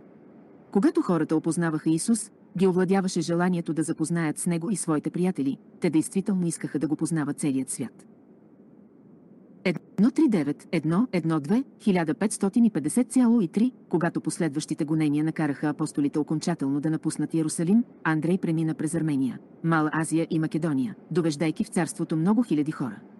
Той беше заловен и разпънат в Пътра, в Ахая. Изминаха повече от два дни преди този могъщ човек да свърши на кръста и в тези трагични часове той продължаваше убедително да възвестява благата вест за спасителното небесно царство. 2. Симон Петър 139-21-1550,4, когато Симон се присъедини към апостолите, той беше на 30 години.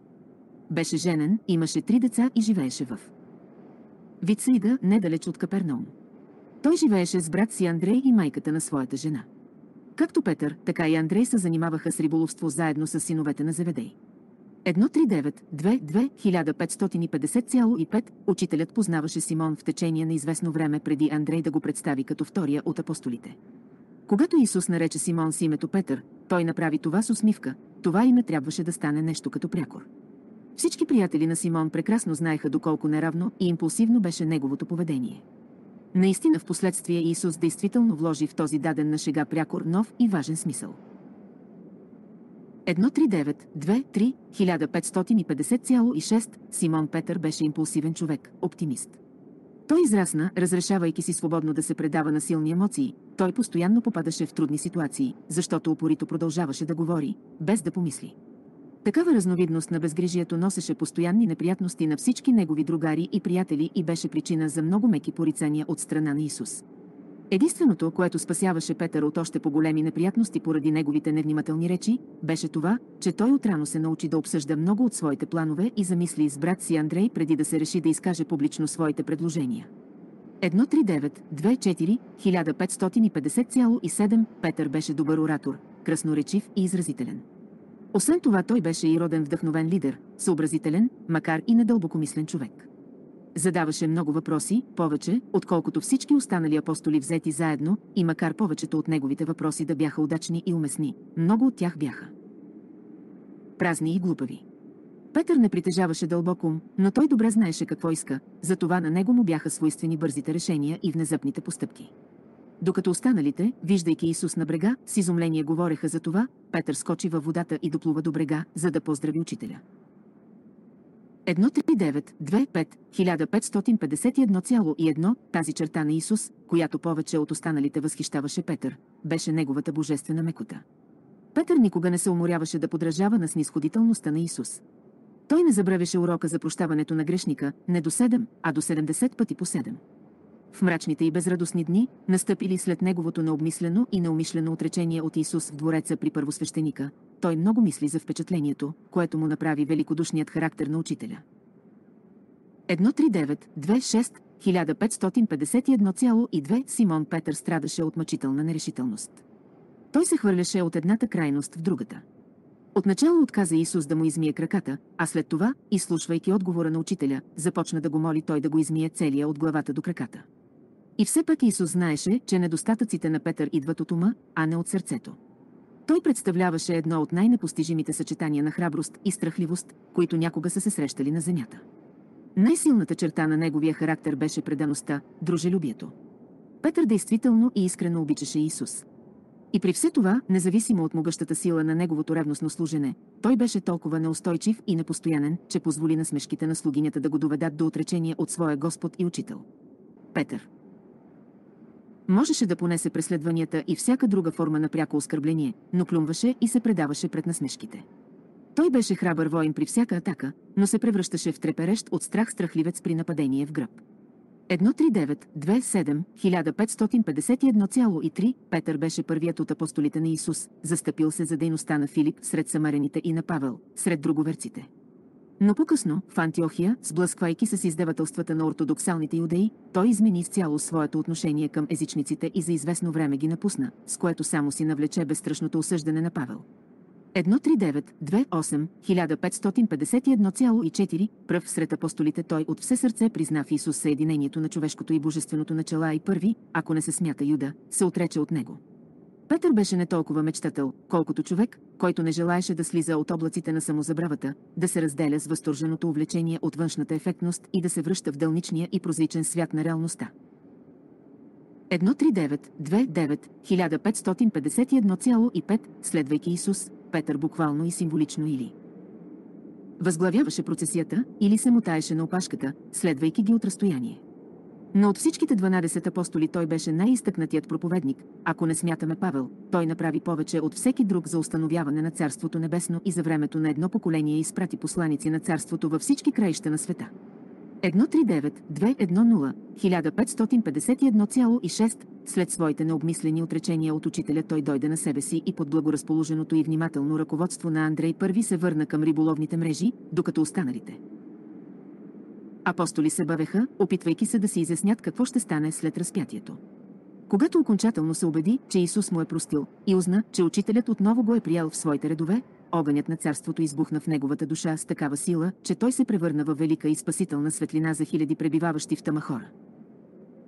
139-211, 1551,7, напускайки Иерусалим, Петър много пътуваше.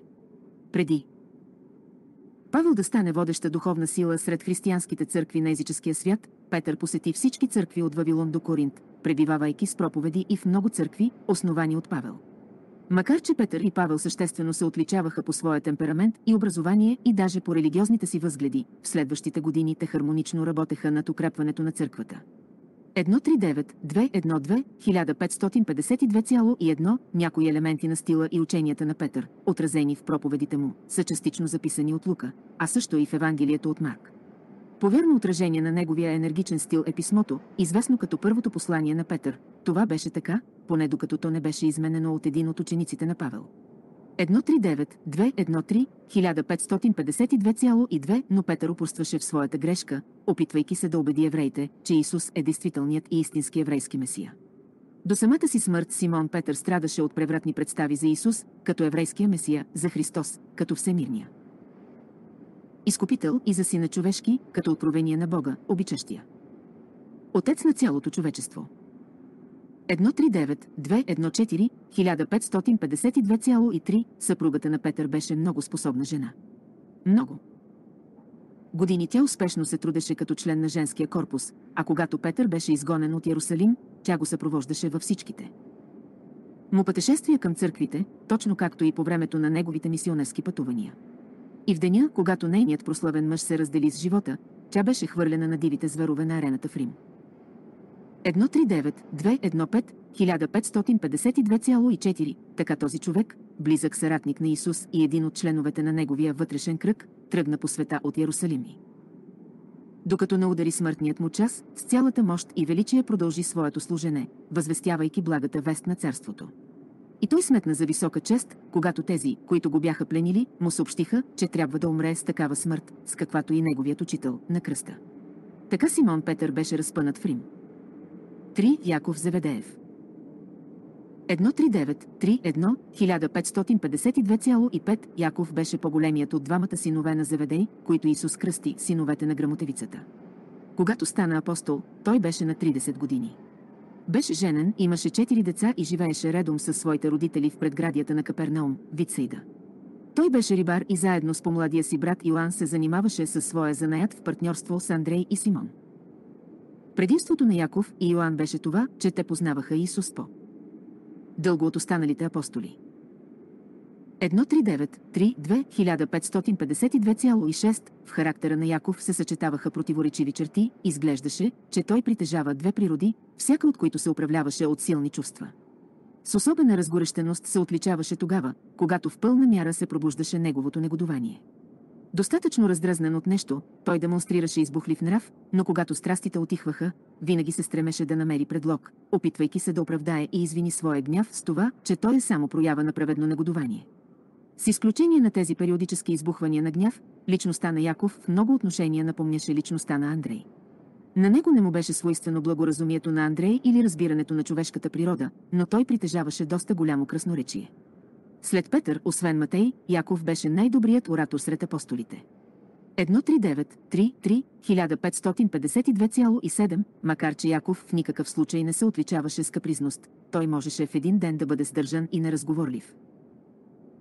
А на другия ден се превръщаше в прекрасен събеседник и разказвач. Обикновено непринудено говореше с Исус, но в обществото на 12-те апостола можеше по цял ден да мълчи. Тези периоди на безпричинно мълчание бяха негова огромна слабост. 139-3-4, 1552,8 забележителна черта на личността на Яков беше неговата способност да вижда проблема от всички страни. От всичките 12 той се приближи най-много от всичките към постигането на действителната важност и смисъл на учението на Исус. Отначало на него му беше трудно да разбере думите на учителя, но още преди. Апостолите да завършат своята подготовка, той придоби прекрасна представа за учението на Исус. Яков беше способен да разбере хора от най-различен тип, той имаше добри взаимоотношения и с разностранния Андрей, и с пламенния Петър, и със своя затворен брат Йоан. 139-3-5, 1553,1, макар че Яков и Йоан се сблъскваха с някои трудности, опитвайки се да работят заедно, техните прекрасни взаимоотношения действаха въодушевяващо на окръжаващите. Техните отношения отстъпваха на отношенията между Андрей и Петър, но бяха значително по-добри от това, което можеше да се очаква от двама братя, особено от братя, отличаващи се с такова своеволие и решителност. Но колкото и странно да изглеждаше, синовете на Заведей бяха доста по-търпими един към друг, отколкото към странични хора. Те много се обичаха и винаги с удоволствие играеха заедно. Именно тези синове на грамотевицата искаха огънят да слезе от небесата и да изтреби самарените, проявяващи на уважение към техния учител. Но безвременната смърт на Яков съществено смекчи бурния темперамент на неговия помлад брат Йоан. 139-36 1553,2 тази черта на Исус, от която Яков се възхищаваше повече от всичко, беше благожелателността. Него го очаруваше отзивчивостта на Исус, неговият интерес към простите и велики, богати и бедни хора. 139-37, 1553,3 мислите и плановете на Яков Заведей се отличаваха с възвишеност. Заедно с Андрей той беше един от най-разумните. Членове на апостолската група. Беше енергичен човек, но никога не бързаше. Той беше прекрасен противовес на Петър. 139-38, 1553,4 това беше скромен и спокоен човек, непретенциозен труженик, ежедневно вършещ своята работа, без да се стреми към някакво особено възнаграждение, след като осъзна действителния смисъл на царството. Що се отнася до разказа за майката на Яков и Йоан, помолила Исус да им предостави местата от дясната и от лявата си страна, то не трябва да се забравя, че с тази молба се обърна именно майката. И следва да се признае, че изразявайки готовност да поеме върху себе си такава отговорност, те съзнаваха цялата опасност от участие в предполагаемото възстание на учителя против римската власт и бяха готови да отговарят за това. Когато Исус ги попита готови ли са да изпият чашата, те дадоха утвърдителен отговор. Що се отнася до Яков, буквално така и стана, той изпи чашата заедно с учителя, или по-скоро, като първия от апостолите, приял.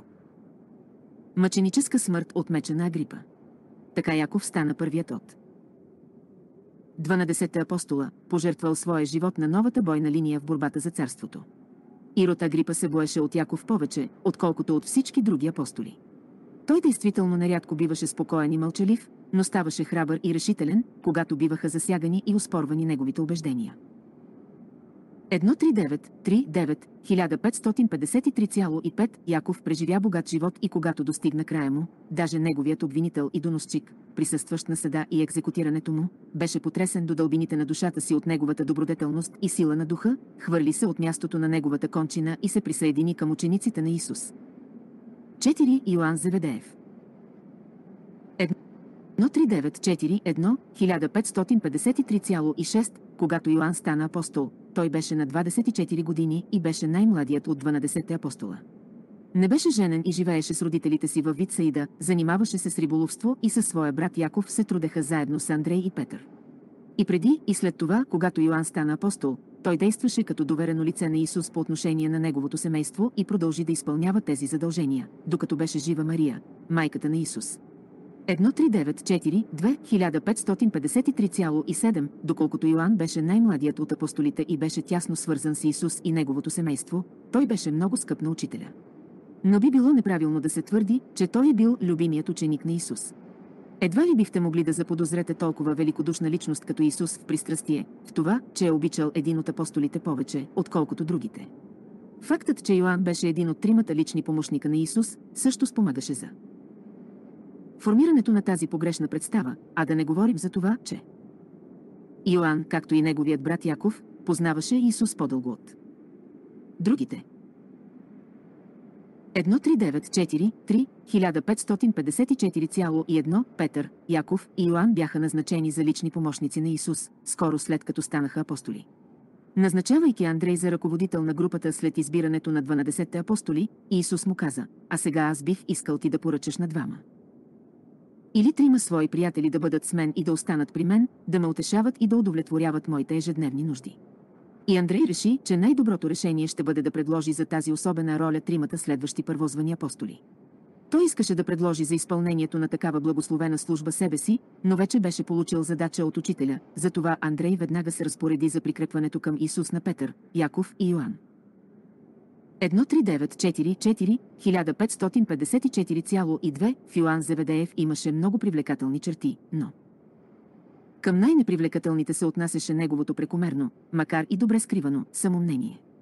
По-продължителното общуване с Исус доведе до много дълбоки промени в характера му. Неговото самомнение съществено намаля, но когато Йоанн остаря и в него се проявиха признаци на известен инфантилизъм, то в определена степен отново се прояви. Затова, наставлявайки натам при написването на Евангелието, което носи сега неговото име, престарелият апостол без колебание периодически наричаше себе си любимият ученик на Исус. Доколкото Йоанн поблизо от смъртните се приближи до това, да се смята за приятел на Исус, и като се има предвид, че той беше негов избран личен представител в толкова много дела, не е чудно, че започна да възприема себе си като любим ученик на Исус, тъй като съвсем определено знаеше, че беше този ученик, на когото Исус толкова често се доверяваше. 1394 5 1554,3 най-силната черта от характера на Йоанн беше неговата. Надежност. Той беше изпълнителен и храбър, верен и предан. Неговата най-голяма слабост беше това свойствено му самомнение. Той беше най-младият в своето семейство и сред апостолите. Възможно е да беше малко разглезен, може би с него се отнасяха твърде снисходително. Но в последните години от своя живот Йоан съвсем не приличаше на онзи самовлюбен и капризен млад човек, който стана апостол на Исус на 24 години. 1394 1554,4 тези особености на Исус, които Йоан ценеше в него повече от всичко, бяха любовта на учителя и неговата безкористност. Тези черти му направиха такова впечатление, че целият му последващ живот мина под знака на чувствата на любов и братска преданост. Той говореше за любов и пишеше за любов. Синът на грамотевицата се превърна в апостолът на любовта и в Ефес, когато престарелият епископ вече не можеше да стои зад катедрата и да излиза с проповед и трябваше да го внасят в църквата на стол, и когато при завършване на церемонията го помолеха да каже няколко думи на вярващите, в течение на много години неговите единствени думи бяха «Мили мои деца, обичайте се». 1394 1554,5 Йоан беше немногословен, ако не се смятат случаите. Когато го ядосваха. Той много мислеше, но малко говореше. С възрастта неговият характер стана помек и стържан, но така и не преодоля своето нежелание да говори, не се избави от своята мълчаливост. Но той беше надарен с забележително творческо въображение. 1394-8, 1555,1 в Йоан имаше още една черта, неочаквана за такъв спокоен и самовглъбен човек, отличаваше се със своего рода фанатичност и крайна нетърпимост. В това отношение той и Яков си приличаха много, и двамата искаха огънят да слезе от небесата. Върху главите на непочтителните се амарени.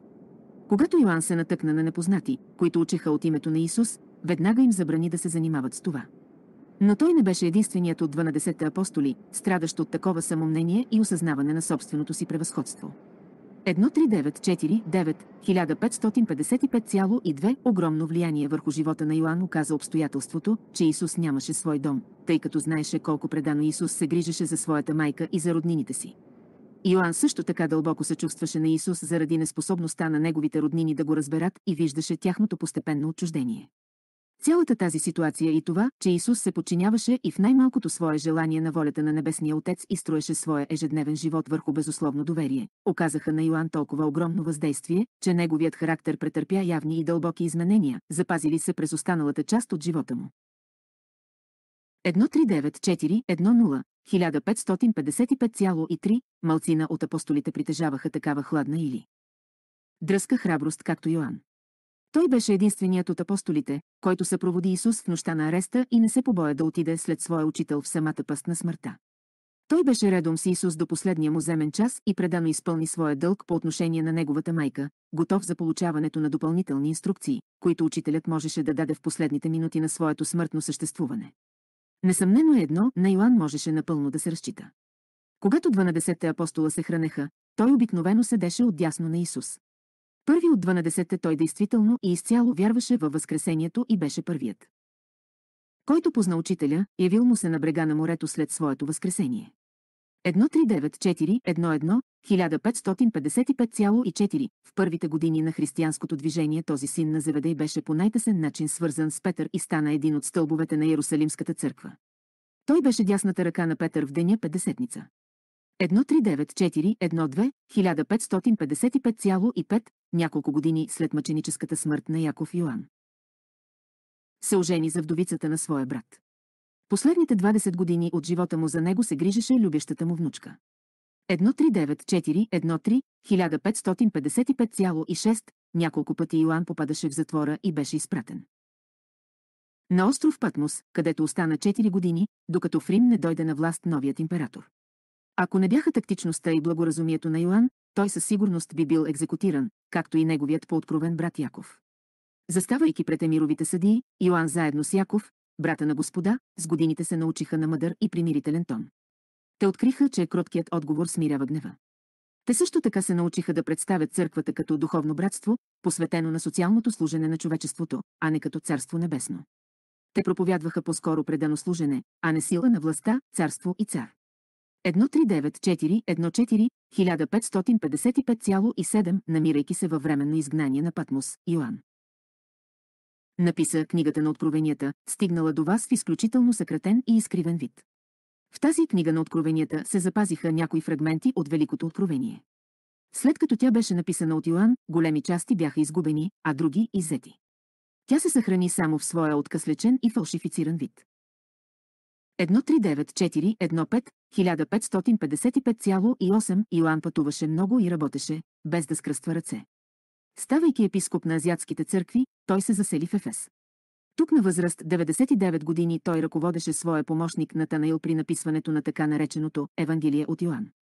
От всичките 12 апостоли само Йоан Зеведеев стана изтъкнат богослов. Той умря от естествена смърт в Ефес в 103 година от нея на възраст 101 години.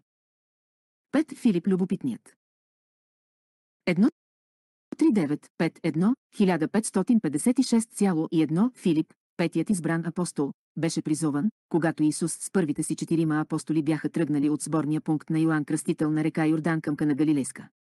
Живеейки във Витсаида, той вече в течение на известно време знаеше за Исус, но на Филип изобщо не му мина през ум, че Исус действително е велик човек, докато в онзи ден, в долината на Йордан, учителят не му каза, следвай ме. В определена степен на Филип подейства и това, че Андрей, Петър, Яков и Йоан бяха признали Исус за избавителя. 139-5-2-1556,2, когато Филип се присъедини към апостолите, той беше на 27 години, наскоро преди това се беше оженил, но по онова време нямаше деца. Прозвището, дадено му от апостолите, означаваше любопитство. На Филип трябваше да му бъде показано всичко. Изглеждаше, че той е напълно лишен от способността да вниква в същината на нещата. Това съвсем не означава, че беше тъп, но... Не му достигаше въображение. Отсъствието на въображение беше огромна слабост на неговия характер. Това беше делничен и прозичен човек. 13953 1556,3 при организирането на апостолите за служене Филип. Стана иконом, в неговите задължения влизаше да следите винаги да бъдат осигурени с всичко необходимо. И той беше добър иконом. Неговото най-силно качество беше методичната акуратност, той се отличаваше както с точност, така и с систематичност. 13954 1556,4 Филип израсна в семейство с 7 деца, 3 момчета и 4 момичета. Той беше второто дете и след възкръсването на Исус кръсти цялото си семейство, приемайки го в царството. Неговите родители се занимаваха с риболов. Баща му се отличаваше с големи способности и дълбокомислие, но майка му произхождаше от крайно посредствено семейство. Филип не беше човек, от когото могат да се очакват велики дела, но беше способен до самозабрава да изпълнява дребни дела по велик начин. За всичките четири години само няколко пъти той не можа да осигури храна за всички присъстващи. Даже многото изключителни изисквания, проистичащи от техния начин на живот, рядко го сварваха неподготвен. Филип беше знаещ и умел управляващ на домакинската служба на апостолското семейство. 139-5-5, 1556,5 Силната страна на Филип беше неговата неизменна надежност, слабата черта на неговия характер беше пълната липса на въображение, неспособността да събере 2 и 2, за да получи 4. Той притежаваше математически способности в абстрактен смисъл, но въображението му не беше конструктивно. Някои видове. Въображение липсваха в него практически изцяло. Той беше типичен редови и обикновен, среден човек. Сред тълпите, които идваха, за да чуят ученията и проповедите на Исус, имаше много подобни мъже и жени и те получаваха огромно удовлетворение, виждайки, че такъв като самите тях човек е удостоен с толкова почетно положение в съветите на учителя, те се въодушевяваха от факта, че подобен на тях човек вече е заел високо положение в делата на царството. И Исус узна много нови неща за това, как функционира разумът на някои хора, когато той търпеливо изслушваше нелепите въпроси на Филип, и толкова често удовлетворяваше молбите на своя иконом, когато той молеше да му покажат.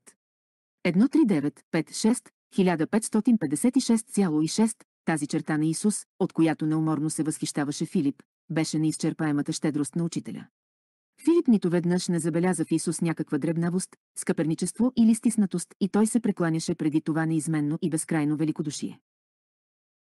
139-5-7, 1557,1 в личността на Филип имаше малко впечатляващо.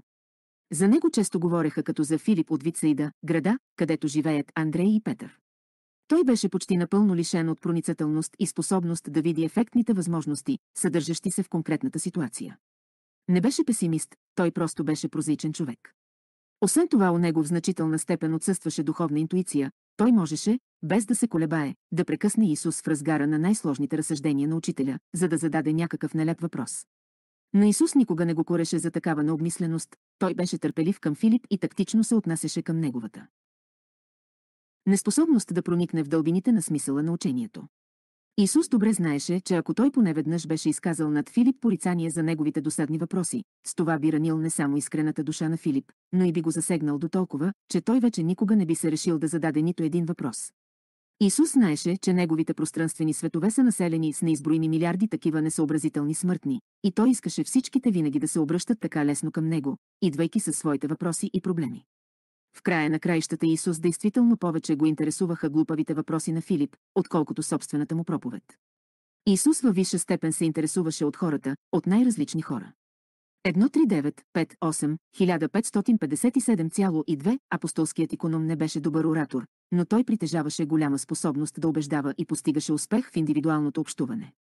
Трудно беше да го разочароваш, отличаваше се с упорство и настойчивост във всичко, за което се бореше. Той притежаваше огромен и рядък дар, умението да каже. Ела. Когато неговият пръв новообърнат Натанаил поиска да поспори за достоинствата и недостатъците на Исус от Назарет, убедителният отговор на Филип беше «Ела да отидем и ще видиш». Той не беше догматичен проповедник, увещаващ своите слушатели, вървете, правете това, правете онова. Всяка ситуация, възникваща в неговата работа, той посрещаше с думите «Ела, ела с мен, аз ще ти покажа пътя». И такъв метод е ефективен винаги, при всички форми и на всички стадии на обучение. Родителите също биха могли да се научат от Филип на това, че най-добре е да се казва на детето не иди. Направи това и това, а ела с нас и ние ще ти покажем и ще направим заедно с теб така, както е най-добре.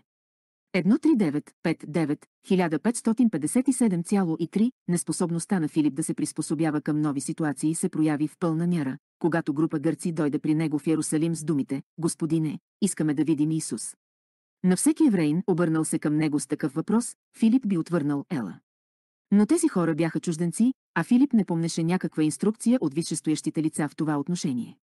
Затова всичко, което можа да измисли, беше да се посъветва с главата на апостолите Андрей, след което те заедно заведоха молещите за среща гърци при Исус. Подобно на това, когато по заръка на своя учител тръгна към Сеамария да проповядва и кръщава вярващите, той се въздържаше да полага ръце на своите новообърнати в знак на получаването от тях на духа на истината. Това беше направено от Петър и Йоан, пристигнали скоро от Ярусалим, за да наблюдават неговата работа от страна на майката. Църква 139-510 1557,4 Филип премина през мъчителен период след смъртта на учителя, взе участие в реорганизацията на групата на апостолите и стана първият, който тръгна да покорява нови души с проповед за царството отвъд пределите на непосредствено обитание на евреите. Той постигна огромни успехи в своята работа сред самарените и в последвалия труд по разпространението на Евангелието.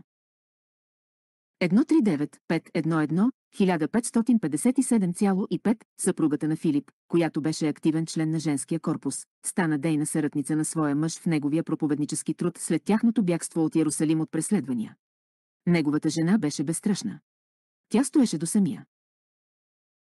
Кръст, на който беше разпънат Филип, въодушевявайки го да провъзгласява благата вест даже пред неговите убийци, а когато силите го оставиха, тя започна да разказва за спасението чрез вярата в Исус, принудиха я да замълчи, едва след като озлобени юдеи се нахвърлиха върху нея и я пребиха до смърт с камъни. Тяхната по-голяма дъщеря ли я продължи труда им и в последствие стана известна като Яраполската пророчица. 139-512, 1558,1 Филип, някога иконом на апостолите, беше могъщ човек в царството, където и да отидеше, той завоюваше нови души. Покъсно беше разпънат за своята вяра и погребан в Ярапол. 6. Честният Натанаил 1396-1, 1558,2 Натанаил, шестият и последният от апостолите, избрани от учителя лично, беше доведен при Исус от неговия приятел Филип. Той беше бил придружител на Филип в няколко търговски предприятия и беше тръгнал заедно с него при Йоанн Кръстител, когато срещнаха Исус. 1396-2, 1558,3 Натанаил стана апостол на възраст 25 години и след Йоанн беше най-младият член на групата. Най-малкият от седем деца, той не беше женен и беше единствената опора на престарелите си и немощни родители, с които живееше в Кана. Някои от неговите братя и сестри лежаха в гроба. Другите имаха свои семейства, но нито един от тях не живееше в родното си селище. Натанаил и Юда Искариот бяха най-образованите от 12-те апостола. Преди това Натанаил се беше канил да стане търговец. 1396-3, 1558,4 Самият Исус не даде на Натанаил прякор, но... 12-те апостоли скоро започнаха да го наричат с думи, означаващи честност, чистосърдечие. Той беше без лукавство. И това беше негово огромно достоинство, беше и честен, и чистосърдечен.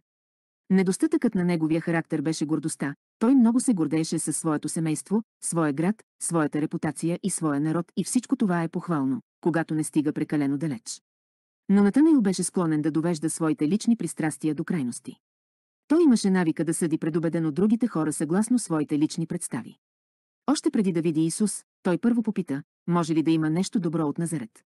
Но независимо от своята гордост, Натанаил не беше твърдоглав. Той веднага измени своето отношение към Исус, още щом го погледна в очите. 13964 1558,5 в много отношения Натанаил беше странният гений на апостолското семейство. Той се отличаваше с философска нагласа на ума и мечтателност, но това беше крайно практичен тип мечтател. Дълбоките философски размишления при него се сменяха с периоди. Нарядък и причудлив хумор, когато беше в подходящо настроение, беше може би най-добрият разказвач сред апостолите. Исус много обичаше да слуша и сериозните, и шеговити разсъждения на Натанаил. Постепенно Натанаил започна посериозно да възприема Исус и царството, но той никога не се отнасяше сериозно към себе си. 1396-5, 1558,6 Всички апостоли обичаха и уважаваха Натанаил и той беше в превъзходни отношения с всички освен с Юда Искариот. Юда смяташе, че Натанаил недостатъчно сериозно се отнася към своите задължения на апостол и веднъж се осмели тайно от другите да отиде при Исус и да се оплаче от Натанаил. Исус каза, Юда, не отстъпвай, не се кичи със своето положение. Кой от нас има правото да съди своя брат? Волята на отеца не е неговите деца да се занимават в живота си само с сериозни дела. Позволи ми да повторя, аз дойдох за това, моите братя в плът да могат да получат повече радост, веселие и да живеят по-пълнокръвен живот. Затова върви, Юда, и изпълнявай добросъвестно това, което ти е поръчено, а на Натанаил, своя брат, позволи сам да се отчита пред Бога. И паметта за това и за много други сходни случаи живя дълго в сърцето на Юда Искариот, заблуждаващ самия себе си. 13966 1559,1 много пъти, когато Исус се намираше в планината с. Петър, Яков и Йоанн и отношенията между апостолите ставаха. Напрегнати и сложни, когато даже Андрей не знаеше какво да каже на своите помрачнели събратя, Натанаил разведряваше обстановката с философски забележки или със своята припламваща и добра шега. 13967 1559,2 в задълженията на Натанаил влизаше да се грижи за семействата на 12 апостола. Той често отсъстваше от апостолските събрания, защото когато узнаваше, че болест или нещо изключително се е случило с някого от неговите подопечни, той отиваше там. Имайки такъв човек като Натанаил, апостолите можеха да бъдат уверени, че техните семейства са в надежни ръце. 13968 1559,3 Натанаил все повече уважаваше Исус за неговата търпимост. Той неуморно размишляваше за широтата и великодушната благожелателност на сина човешки. 13969 1559,4 бащата на Натанаил, Вартоломей, умря скоро след Петдесетница, след което този апостол отиде в Месопотамия и Индия, където възвестяваше благата вест за царството и кръщаваше вярващите. Неговите събратя така и не узнаха какво стана с техния предишен другар, философ, поет и хуморист. Но той също така беше велик човек в царството и направи много за разпространение на учението на Исус, макар че не взе участие в последващата организация на християнската църква. Натанаил умря в Индия. 7. Матей Леви 1397 1559,5 Матей, седмият апостол, беше избран от Андрей. Матей принадлежеше към семейство на събирачи на задължения или емитари, самият той беше събирач на налози в своя роден град Каперном. Беше на 31 години, женен и с 4 деца. Матей притежаваше неголямо състояние и беше единственият до някъде осигурен човек от целия апостолски корпус. Това беше предприемчив и контактен човек, надарен със способност да дружи и поддържа добри отношения с най-различни хора. 1397 1559,6 Андрей назначи Матей за финансов представител на апостолите. В известен смисъл той беше финансов упълномощени. Агент на апостолската организация. Добре се справяше с хората и беше прекрасен пропагандатор. Неговата личност зле се поддава на описание, но той беше крайно добросъвестен ученик и все повече вярваше в мисията на Исус и в несъмнеността на царството. Исус не даде на Леви прякор, но приятелите му обикновено го наричаха получаващият пари. 1397 1559,7 силна черта на неговия характер беше безрезервната му преданост към общото дело. Това, че той, митарят, беше прият от Исус и апостолите, служеше като причина за благодарност, изпълваща бившия събирач на налози. Но беше необходимо известно време преди останалите апостоли, особено Симон Зилот и Юда Искариот, да се примирят с присъствието на Емитър в своята среда. Слабост на Матей беше неговият късоглед и материалистичен възглед за живота. Но с времето той постигна огромен прогрес във всички тези отношения. Разбира се, на него му се налагаше да пропуска много от най-ценните периоди на обучението, защото задължението му беше да следи за попълването на хазната. 1397 1559,8 повече от всичко Матей ценеше в учителя неговата снисходителност. Той непрекъснато си спомняше това, че за откриване на Бога е достатъчна само едната вяра. Обичаше да говори за царството като за работата по откриването на Бога. 1397 1560,1, макар че върху Матей лежеше бремето на миналото, той препоръча себе си от към най-добрата страна и постепенно неговите приятели започнаха да се гордеят с постъпките на Митера. Той беше един от апостолите, които записваха много изказвания на Исус, и тези записи залегнаха в основата на последващия разказ на за изказванията и делата на Исус, известен като Евангелието от Матей.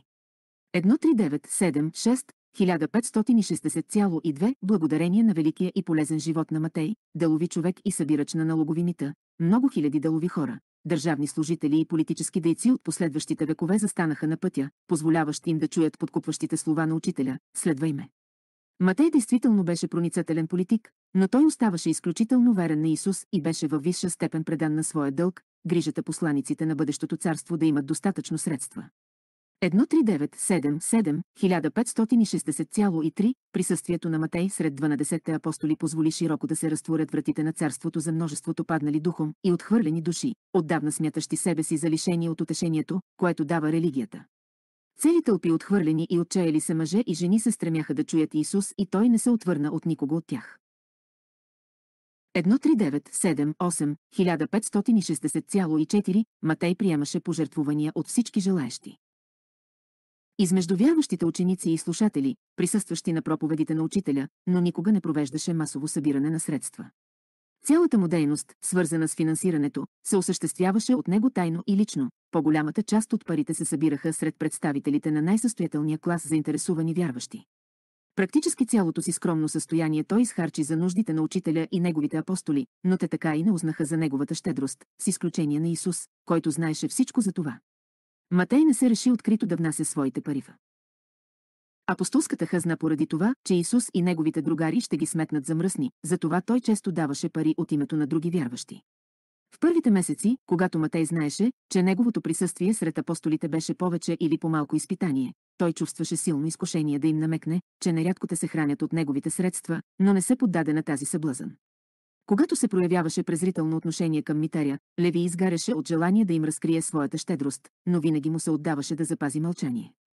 13979 1560,5, ако се оказваше, че наличните средства са недостатъчни за покриването на седмичните разходи, Леви често вземаше големи суми от личните си спестявания.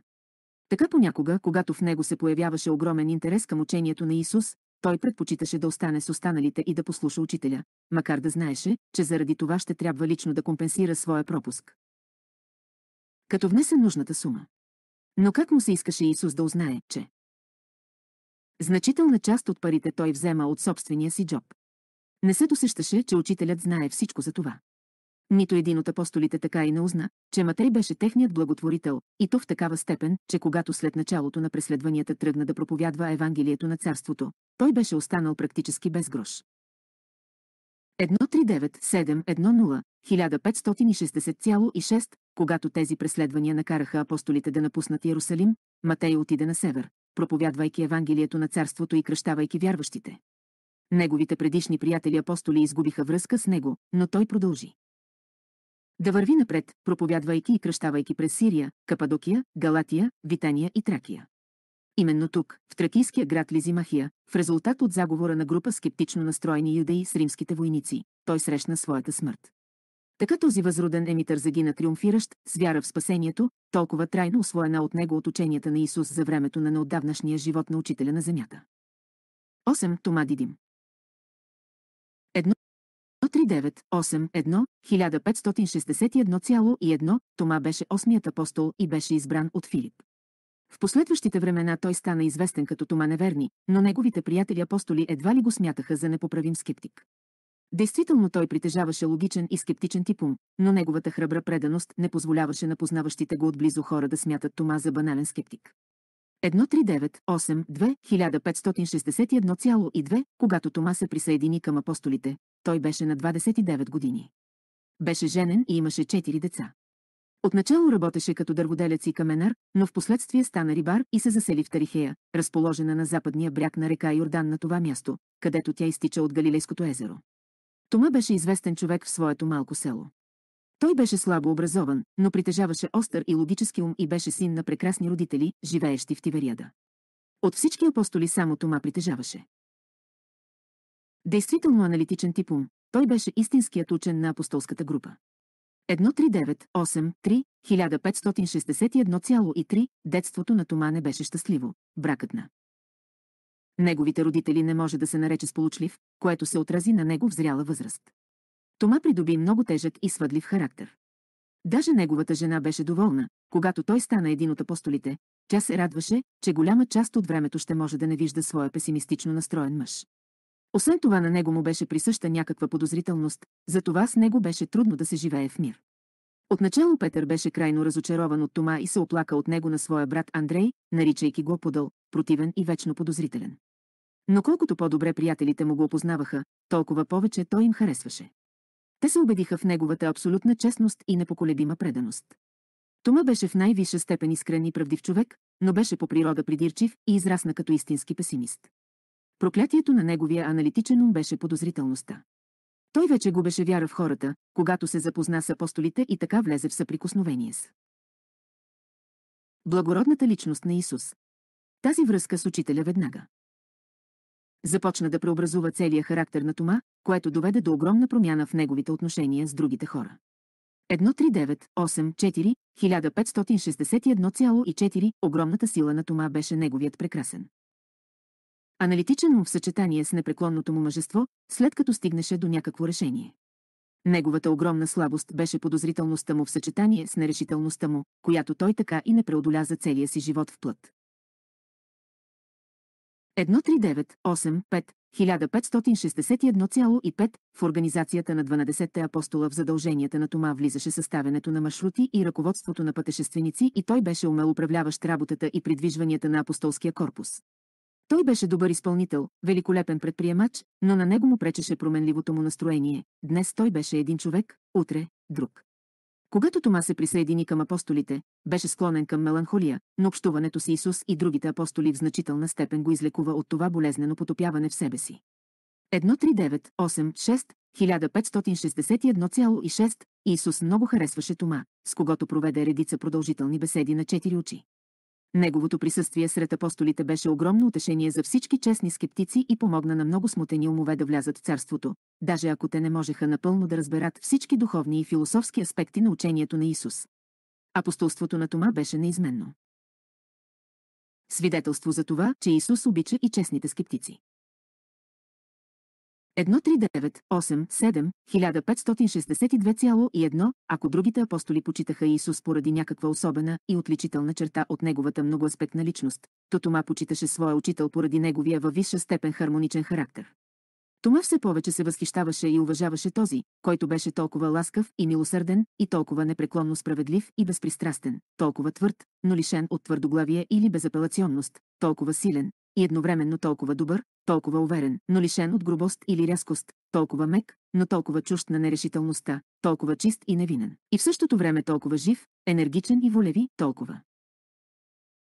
Истински мъжествен, но лишен от прибързаност или безразсъдство, толкова обичащ природата, но толкова лишен от преклонение пред нея, толкова весел и шегуващ се, но толкова лишен от лекомисленост и лекомислие.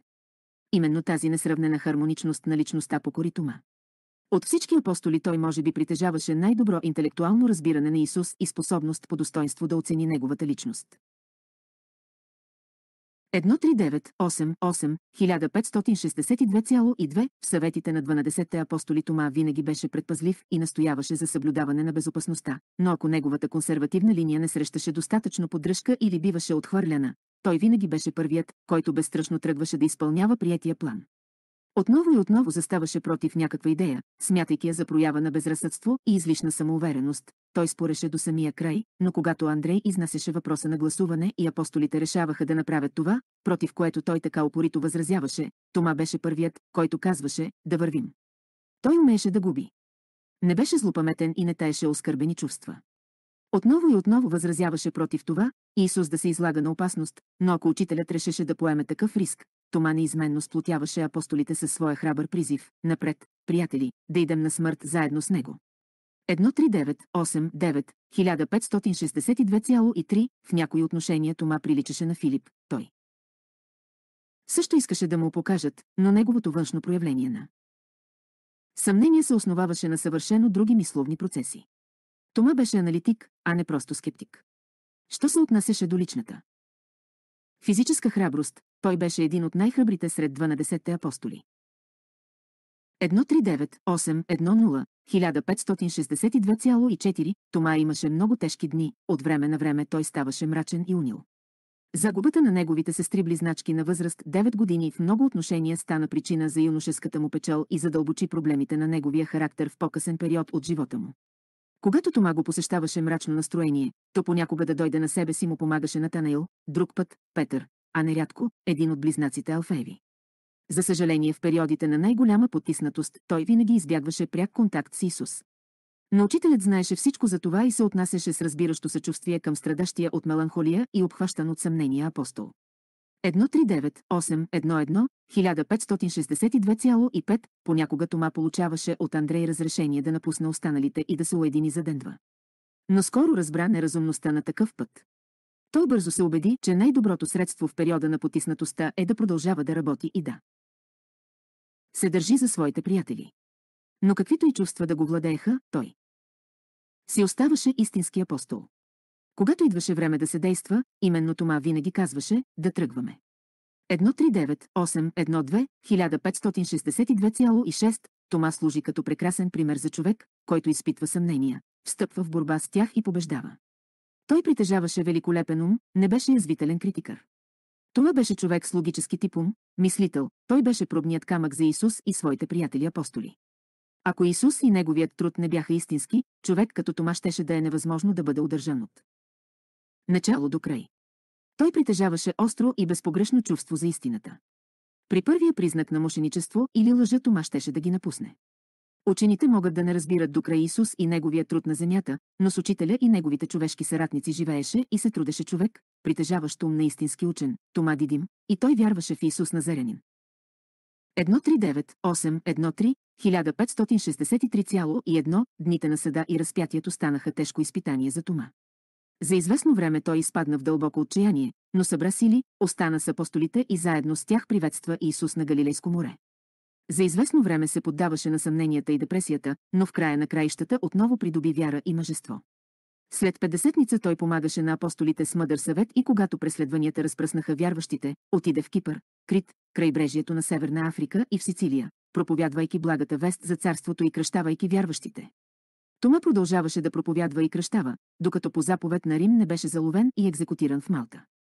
Едва няколко седмици преди смъртта си той пристъпи към описание на живота и ученията на Исус. 9 и 10. Яков и Юда Алфееви 139-101, 1563,2 близнаците Яков и Юда, синовете на Алфей, бяха рибари и живееха недалеч от Херес, Яков и Йоан Заведееви ги избраха. За 9 и 10 апостоли. Те бяха на по 26 години и бяха женени, Яков имаше три деца, а Юда – две. 139-102, 1563,3, малко може да се каже за тези обикновени рибари. Те обичаха своя учител и Исус ги обичаше, но те никога не прекъсваха неговите разсъждения с въпроси. Зле разбираха философските беседи и теологическите дебати на другите апостоли, но се радваха на това, че се оказаха сред могъщи хора. Те и двамата бяха практически идентични по своя външен облик, умствени способности и духовно възприятие. Това, което може да се каже за единия, е вярно и за другия. 139-103, 1563,4 Андрей им поръча да следят за реда. Те бяха главните блюстители на реда по време на проповедите и фактически широко използвани от апостолите като слуги и куриери. Те помагаха на Филип в снабдяването, отнасяха парите на семействата вместо на Танаил и винаги бяха готови да помогнат на всеки от апостолите. 139-104, 1563,5 тълпите прости хора изпитваха огромно въодушевление, когато виждаха сред апостолите такива обикновени хора като тях, удостоени с толкова висока чест. Самият факт на приемането за апостоли на тези посредствени близнаци беше средство за привличане в царството на множество нерешителни вярващи. И освен това простите хора се отнасяха поблагосклонно към това, че ги ръководеха и управляваха официални блюстители на реда, приличащи в много отношения на самите тях. 139-105, 1563,6 Яков и Юда, които наричаха също Тадей и Левей, нямаха нито силни, нито слаби страни. Прозвищата, дадени им от учените, бяха добродушно обозначение на посредствеността. Те бяха най-малките от всички апостоли. Знаеха това и не се разстроиваха. 139-106, 1563,7 Яков Алфаев особено обичаше Исус заради неговата простота. Тези близнаци не можеха да постигнат разума на Исус, но действително чувстваха, че са свързани с сърцето на учителя с връзките на благожелателността. Те не притежаваха голям ум, при цялото уважение към тях можеха да бъдат наречени даже глупави, но в своята духовна същност притежаваха истински опит. Те вярваха в Исус, бяха синове Божии и събратя в царството. 139-107, 1564,1 Юда Алфеев го привличаше към Исус непоказната скромност на учителя. Такава скромност в съчетание с такова лично достоинство импонираше на Юда изключително много. Това, че Исус винаги премълчаваше за своите необичайни деяния, правеше огромно впечатление на това простодушно дете на природата. 139-108, 1564,2 близнаците бяха добродушни и наивни помощници и всички ги обичаха. Исус покани тези млади хора с талант да заемат почетно място в царството, да влязат в неговото лично обкръжение за това, защото в пространствените светове съществуват безброй милиони също такива простодушни и обхванати от страх души, на които той също така предлага активно вероисповедни дружески отношения с него и неговия излед дух на истината. Исус презира на незначителността, а злото и греха. Яков и Юда бяха незначителни, но те бяха верни. Бяха прости и невежи хора, но притежаваха голямо сърце, доброта и великодушие. 139-109, 1564,3 и колко преизпълнени с благодарна гордост бяха тези скромни хора в деня, когато учителят отказа да приеме един богат човек като проповедник на Евангелието, докато той не продат своето. Имение и не помогне на бедните. Когато бедняците слушаха и виждаха близнаците сред неговите съветници, те знаеха със сигурност, че Исус беше човек, който не отдава значение на обществените различия. Само божествена институция, Царството Небесно, можеше да бъде построена върху толкова посредствен човешки фундамент. 139, 10, 10, 1564,4, само един или два пъти за цялото им общуване с Исус близнаците се решиха да се обърнат с въпрос към него в присъствието на други. Събудилият се в Юда интерес го подтикна да зададе въпрос, след като учителят каза за гласното разкриване на себе си пред света. Юда беше и малко разочарован от това, че между 12-те апостоли няма да има тайни, и се реши да попита, но, учителю, когато ти по такъв начин разкриеш себе си пред света, как ще ни предпочетеш с особено проявление на своята добродетел? 139, 10, 1564,5 близнаците служиха добросъвестно до самия край, до черните дни на съда, разпятието и отчаянието. В своите сърца те никога не губеха вяра в Исус и, ако не се смята Йоан, първи повярваха във Възкресението. Но те не можаха да разберат установяването на царството. Скоро след като учителят беше разпънат, те се върнаха към своите семейства и рибарски мрежи, техният труд беше завършен. Те не притежаваха способностите, необходими за по-сложни сражения в името на царството.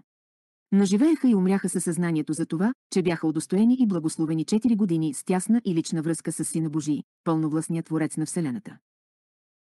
11. Симон Зелот 139, 11, 1564,6 Симон Зелот, 11 апостол, беше избран от Симон Петър.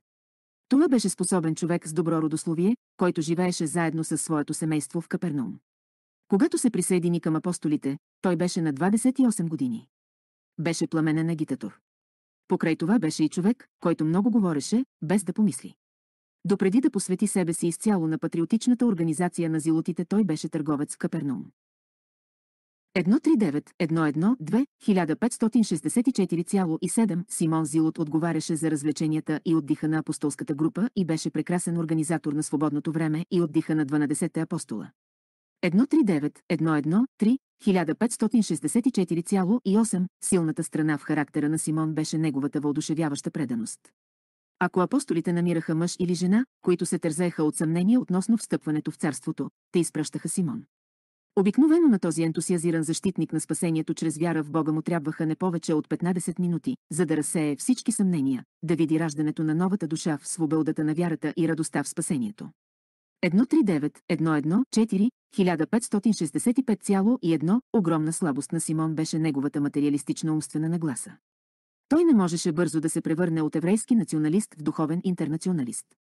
Четири години бяха твърде кратък срок за такава интелектуална и емоционална трансформация, но Исус винаги търпеливо се отнасяше към него.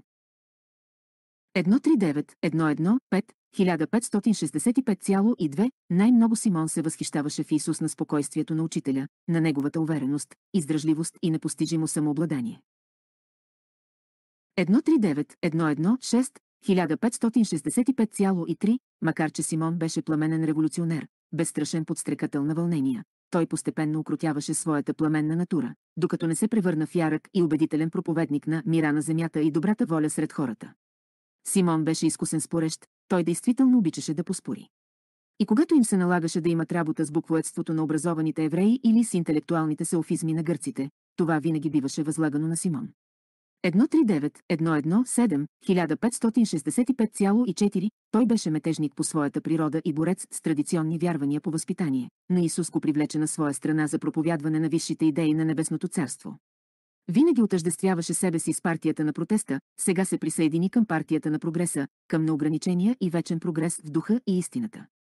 Симон беше човек с огромна вярност и гореща лична преданост и той действително дълбоко обичаше Исус. 139, 118, 1565,5 Исус не се боеше да общува с търговци, трудови хора, оптимисти, песимисти, философи, скептици, емитари, политици и патриоти. 139, 119, 1565,6 Учителят често беседваше с Симон, но така и не му се отдаде да превърне този ревностен еврейски националист в интернационалист. Исус често говореше на Симон, че на човека е свойствено да желая подобряване на своето социално, економическо и политическо положение, но неизменно добавяше, това няма отношение към Небесното царство. Ние трябва да посветим себе си на изпълнението на волята на Небесния Отец.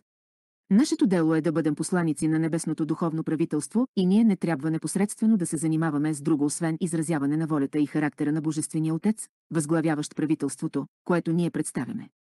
На Симон му беше трудно да разбере всичко това, но той постепенно започна да постига някакъв смисъл в учението на Исус. 139, 11, 10, 1565,7, когато Иерусалимските преследвания разпръснаха учениците, Симон временно прекрати своята дейност. Беше буквално слумен. Като патриот-националист той се отказа от всичко заради ученията на Исус и, ето, всичко беше пропаднало.